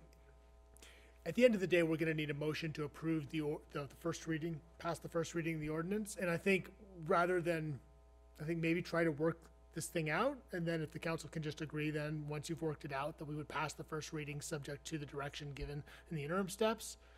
It seems like maybe the easiest way to go. So my recommendation would be, if you're comfortable with that as an approach, that we would just tackle this now, get a motion a second, pass this, get sort of the, the items we still need feedback on, then present the rest of the ordinance, and then we would uh, ultimately pass the whole ordinance for a first reading. That makes sense to me. Is there a general consensus? After we do questions in public? Yeah. Yes, yes, okay. Uh, in that case, uh, we will bring this to council questions? No? Uh, bring it to public? Yes, The question's just on this just on this? question. Actually, it also applies to mayoral removal. We need a, a determination of whether it's a supermajority or a majority. So we're gonna deal with uh, two one two zero two oh, and there's two. Yes. Yep. And it's, the ne- and it's, uh, just next slide, there we go. And Yeah. So, so maybe we get feedback on these two. I, th- Okay. these were the two parts where we needed feedback. Alternatively, we can just go through and do it all at once. I thought I was making it simple, but If you take individual motions throughout, you probably need to go out for public comment multiple times, but if you just discuss it and then do the whole thing in one fell swoop at the end, you don't need to go out for public comment multiple times. Okay, It's up to the mayor. I'm not sure I understand. I think the question right now is three or four. Yes, yes. that's that it. is That- question. That's Okay. it. Cool. Let's I discuss. say three. Oh, I'm sorry, strike that. I say four. I'm simple, I'll say three, Um, for discussion. Just for Okay, discussion? so can, I don't, can I make a motion? Can I just, can we just make a, can I just move forward? Because we've discussed this at the last meeting and it was coming back, so can I just make, put it on the table? So if you, we if the can council is discuss? taking action, which is making a motion, appr- acting on a motion, you need to receive public comment on that. We were just having discussion there. Oh. It was like saying like, I like three. Oh, okay. It's like a discussion. Usually if there's an item that requires multiple i- points of input from the council, you could just go through the whole thing, decide what you want to do along the way, and then at the end, take public comment. Okay. I'm ready for it to go to public comment, so I can make a motion. I guess you're done with discussion. I will bring, Well, she's got to go to public comment real quick. okay, let's bring this to public comment. Is there any member of the public that would like to address the council on these items? Seeing none, we bring it back to the council for a motion. I'd like to make a motion that, um, for the planning commission, I feel that we should do a four, um, vote on that. I feel like uh, to, the, the removal of a planning commissioner, which has a more finality, there's, it's final, they lose their position, they can no longer come back. In regards to, to the mayor, I think three, um, it should be three because they're still considered a voting member. There's no really finality. It's not like they're no longer a council member. They just simply are no longer mayor. So I would, again, my motion would be four for planning commission, three for the mayor. We have a motion. Do we have a second? I'll second it. We have a motion and a second. Let's do a roll call vote for this. Discussion? Discussion. Sure. My apologies. Yeah, I, I, I, I just feel like I want to make a comment because it is, uh, Please, I, I- yes. I, I, I, you know, I, I read in the minutes here, that in the, in the staff report, it says there was, we were leaning one way or the other. I don't remember we were leaning. I thought it was a quite vigorous conversation. but- It was a very vigorous. Yeah, but I don't remember that we were leaning, but, it- but anyway, I, and the only point I want to bring up is that I, I, I go back to my point, the reason, because now we have three on one and four on the other, and I, my point is still the same, is that based on our, on the Brown Act, uh, that two people can still talk and form a coalition and block something here. And, and that's allowed, and then when by making it a supermajority, you allow that to, to happen, whereas, you know, if you wanted something to take place, it would actually take you know, three independent votes to remove a planning commissioner. And by making it four, two people could talk and form a coalition and block that action. And, and I, I, I- I just think that that's, um, an abuse of the Brown Act. So for that reason, I, I, I feel compelled that three votes for, for both is, uh, is warranted. Oh, Is that a motion?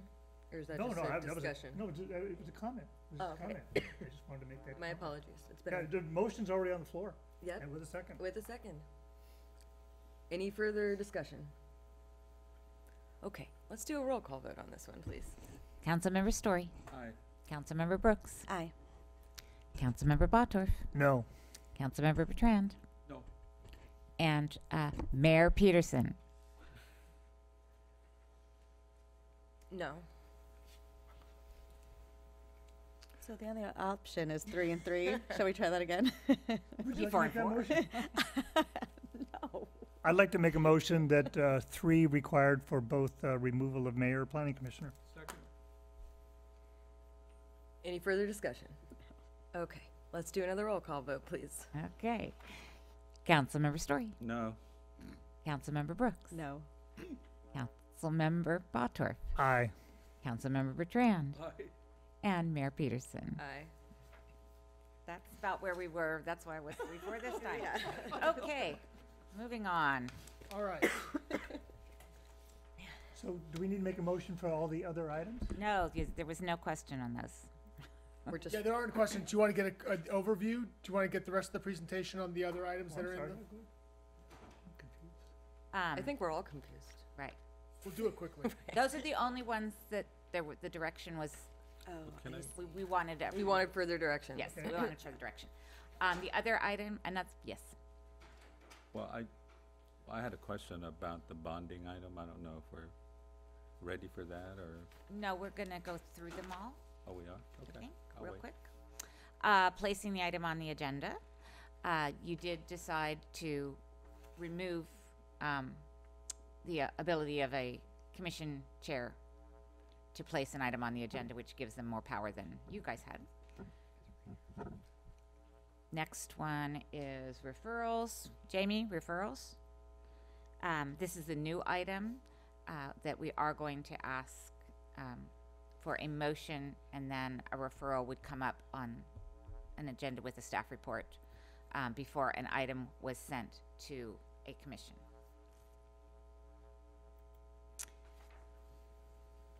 These last group, these are the, um, more simple, they were listed in the staff report last time and quickly discussed and are reflected in it. Um, we had old references for state law. Uh, nobody else has, uh, has policy adoption in code. Uh, appeal hearing just clarified the order. Uh, meeting time and place. Currently, the way it's written, we should be having our November meeting the day after Thanksgiving, not doing that. Um, public comment, we, there was something about, you could be, have preference if you notified the clerk. That has been removed. Uh, all reference to the redevelopment agency has been deleted. Um, and then employee bond language, um, replacing the bond with a crime insurance policy. And the recommendation is to approve first reading. In Councilmember Storey, you had a question about the bonding requirement. Is that appropriate? It, it is, City Manager uh, Goldstein has a lot to say about bonding. That's Good, because Yes, he does. I have a very poignant question. Um, We did so much research on this. That's You right. have- We you have deep no on idea. we went way down the rabbit hole, the two of us. I think I recall some of that. Uh, But my question is um, concerning Government Code Section 36518. I didn't really read in there that it provided for an alternative of using a, a, a crime insurance policy. Is that so? Is that provided in some other? It is. Okay, that's oh, all I. Oh, I. gosh, yeah. Remember? Yeah, give me, give me a second. Yeah, th- this was the problem, that the bonding requirements are in multiple sections of the government code. Okay, no, you don't need to go down that rabbit hole. I just want. We, we Well, the could be interesting here thing all is- night. I called a little. It- It is, it's a separate section. I think it was one I think it's like one seven something. Let me see if I can still find it in my Westlaw without having to look it up. Poor Ben Yeah. Thompson's still here, recording Get this. He's ready for us to be. It's a four digit. We're- Full rush, okay.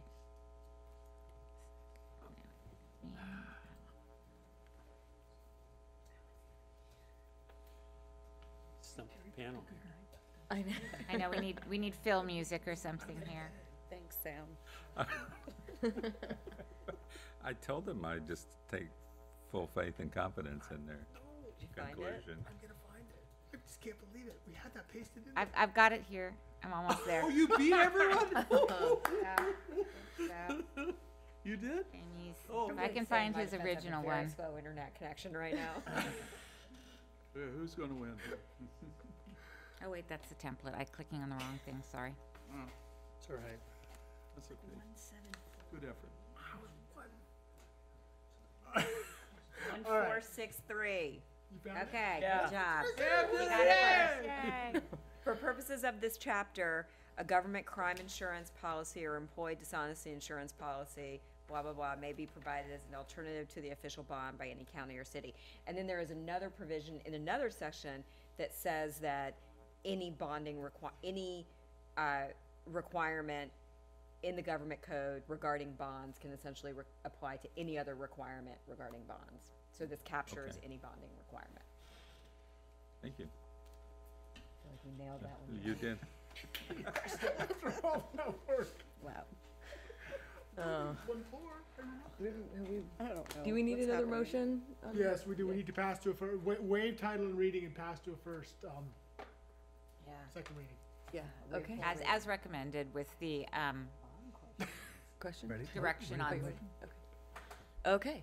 Motion to approve staff, re- staff recommendation to approve first reading Waive full And reading and approve the first reading. and waive full as and recommended. as it's in the recommended language, and so. approve first reading. I've been told I'm required to second that Yeah. motion. Thanks, Sam. We have a motion and a second. All in favor? Aye. Any opposed? Any abstentions? Motion passes unanimously. Go team. Uh, item ten E, um, regarding a contract for emergency repairs to a storm drain off of Chittenden Lane. Oh, I thought I was ready. I bet. Here we go. Bring us home. Stuart's got it. We need it. Once again, we're here with another emergency repair project. Uh, this time it's a storm drain uh, located off of Chittenden Lane, which is off of Kennedy. Um, I have a map here that kind of ties us in. So these two yellow lines on the top of this map are Highway 1. Um, here we have Kennedy Drive, which parallels Highway 1. Uh, just keep orienting you. The uh, city's corporation yard is located right here. Chittenden Lane is a road dead-end street that comes off of Kennedy Drive um, and services two parcels. The main access is for this 933 Chittenden property, which is a commercial condominium complex. Um, there is access, although it's uh, an emergency access to 930 Rosedale Avenue, which is the Cabrillo Mobile Home Estates. And 310 Kennedy Drive has a driveway, but their main access is actually considered off of Kennedy Drive. Um, in earlier this winter, the uh, homeowners association for Brookvale Terrace, which is the uh, mobile home park located in this area down here, reported a, a lot of water coming out of the hillside, um, and there's a storm drain that runs from Chittenden Lane down in through um, Brookvale Terrace and into Noble Gulch. Um, it's obvious and apparent that there was a failure in the 18-inch storm drain that came down the hill. Um, city staff has spent quite a bit of time kind of researching and coming up with repair plans for this. Um, and at this point, uh, permanent repairs to the pipe are necessary. Um, several coaches within the park are immediately downstream of a temporary ditch that has been put in place by residents of uh, Brookvale Terrace uh, and some assistance with, from the city. So, um, in order to protect those coaches, uh, an emergency contract is necessary to repair the pipe. We will be replacing the entire pipe, not just fixing where it is broken, but we are replacing it from the inlet on Chittenden Lane all the way to the outlet into a V ditch, which goes to Noble Gulch Pipe. Um, our plan is uh, Anderson Pacific Contractors, who's currently working for the city on Park Avenue sidewalk and also did a previous storm drain repair project for us on Hollister uh, this year.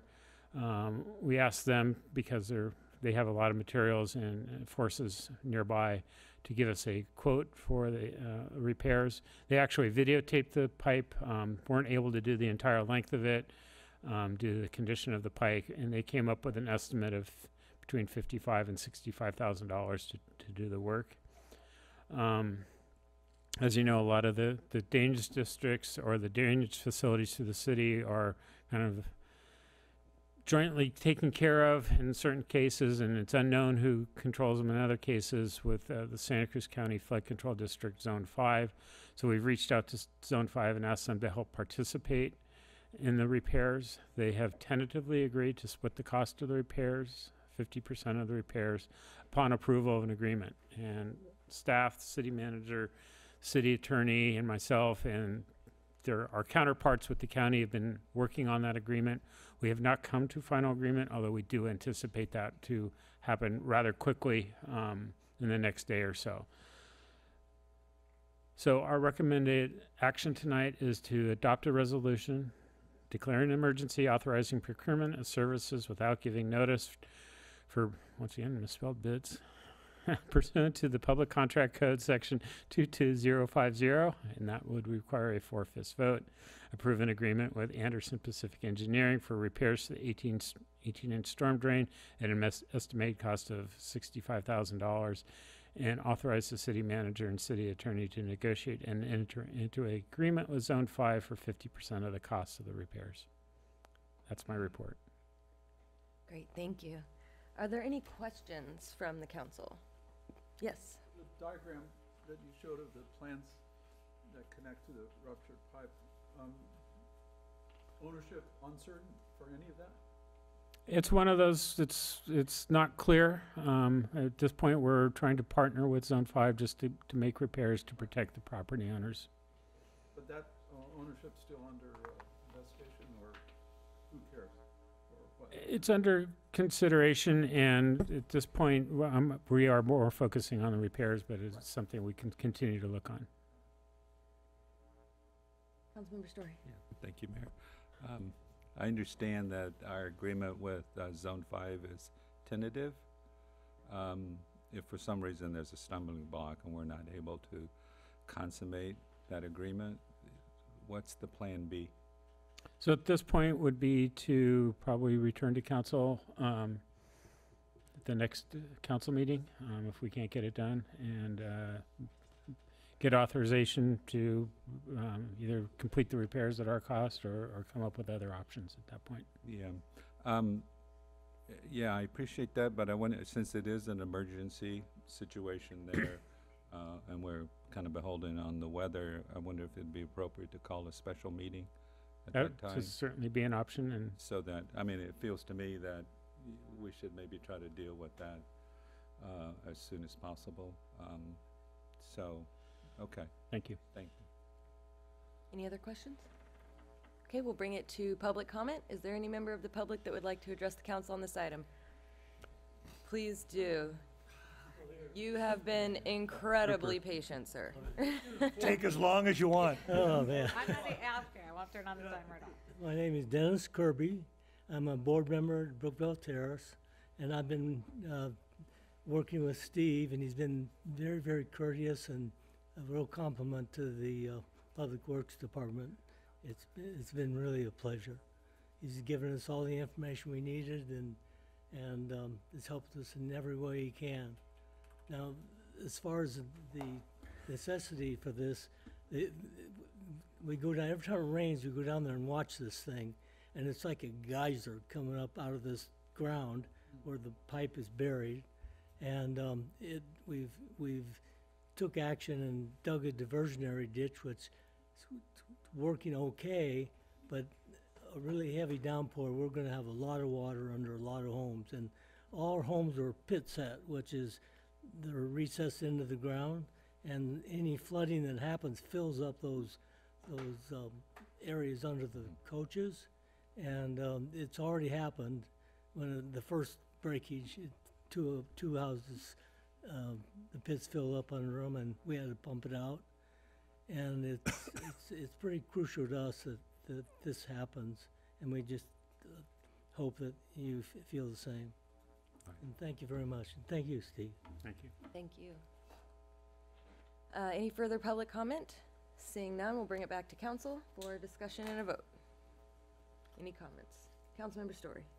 I'd just like to maybe, in order to move this thing uh, along, uh, make a motion that we adapt uh, staff recommendation uh, with the proviso that if um, staff are not able to enter into this uh, budget agreement with Zone 5, um, that they call a special meeting of the council for us to come back and then consider uh, our options at the time.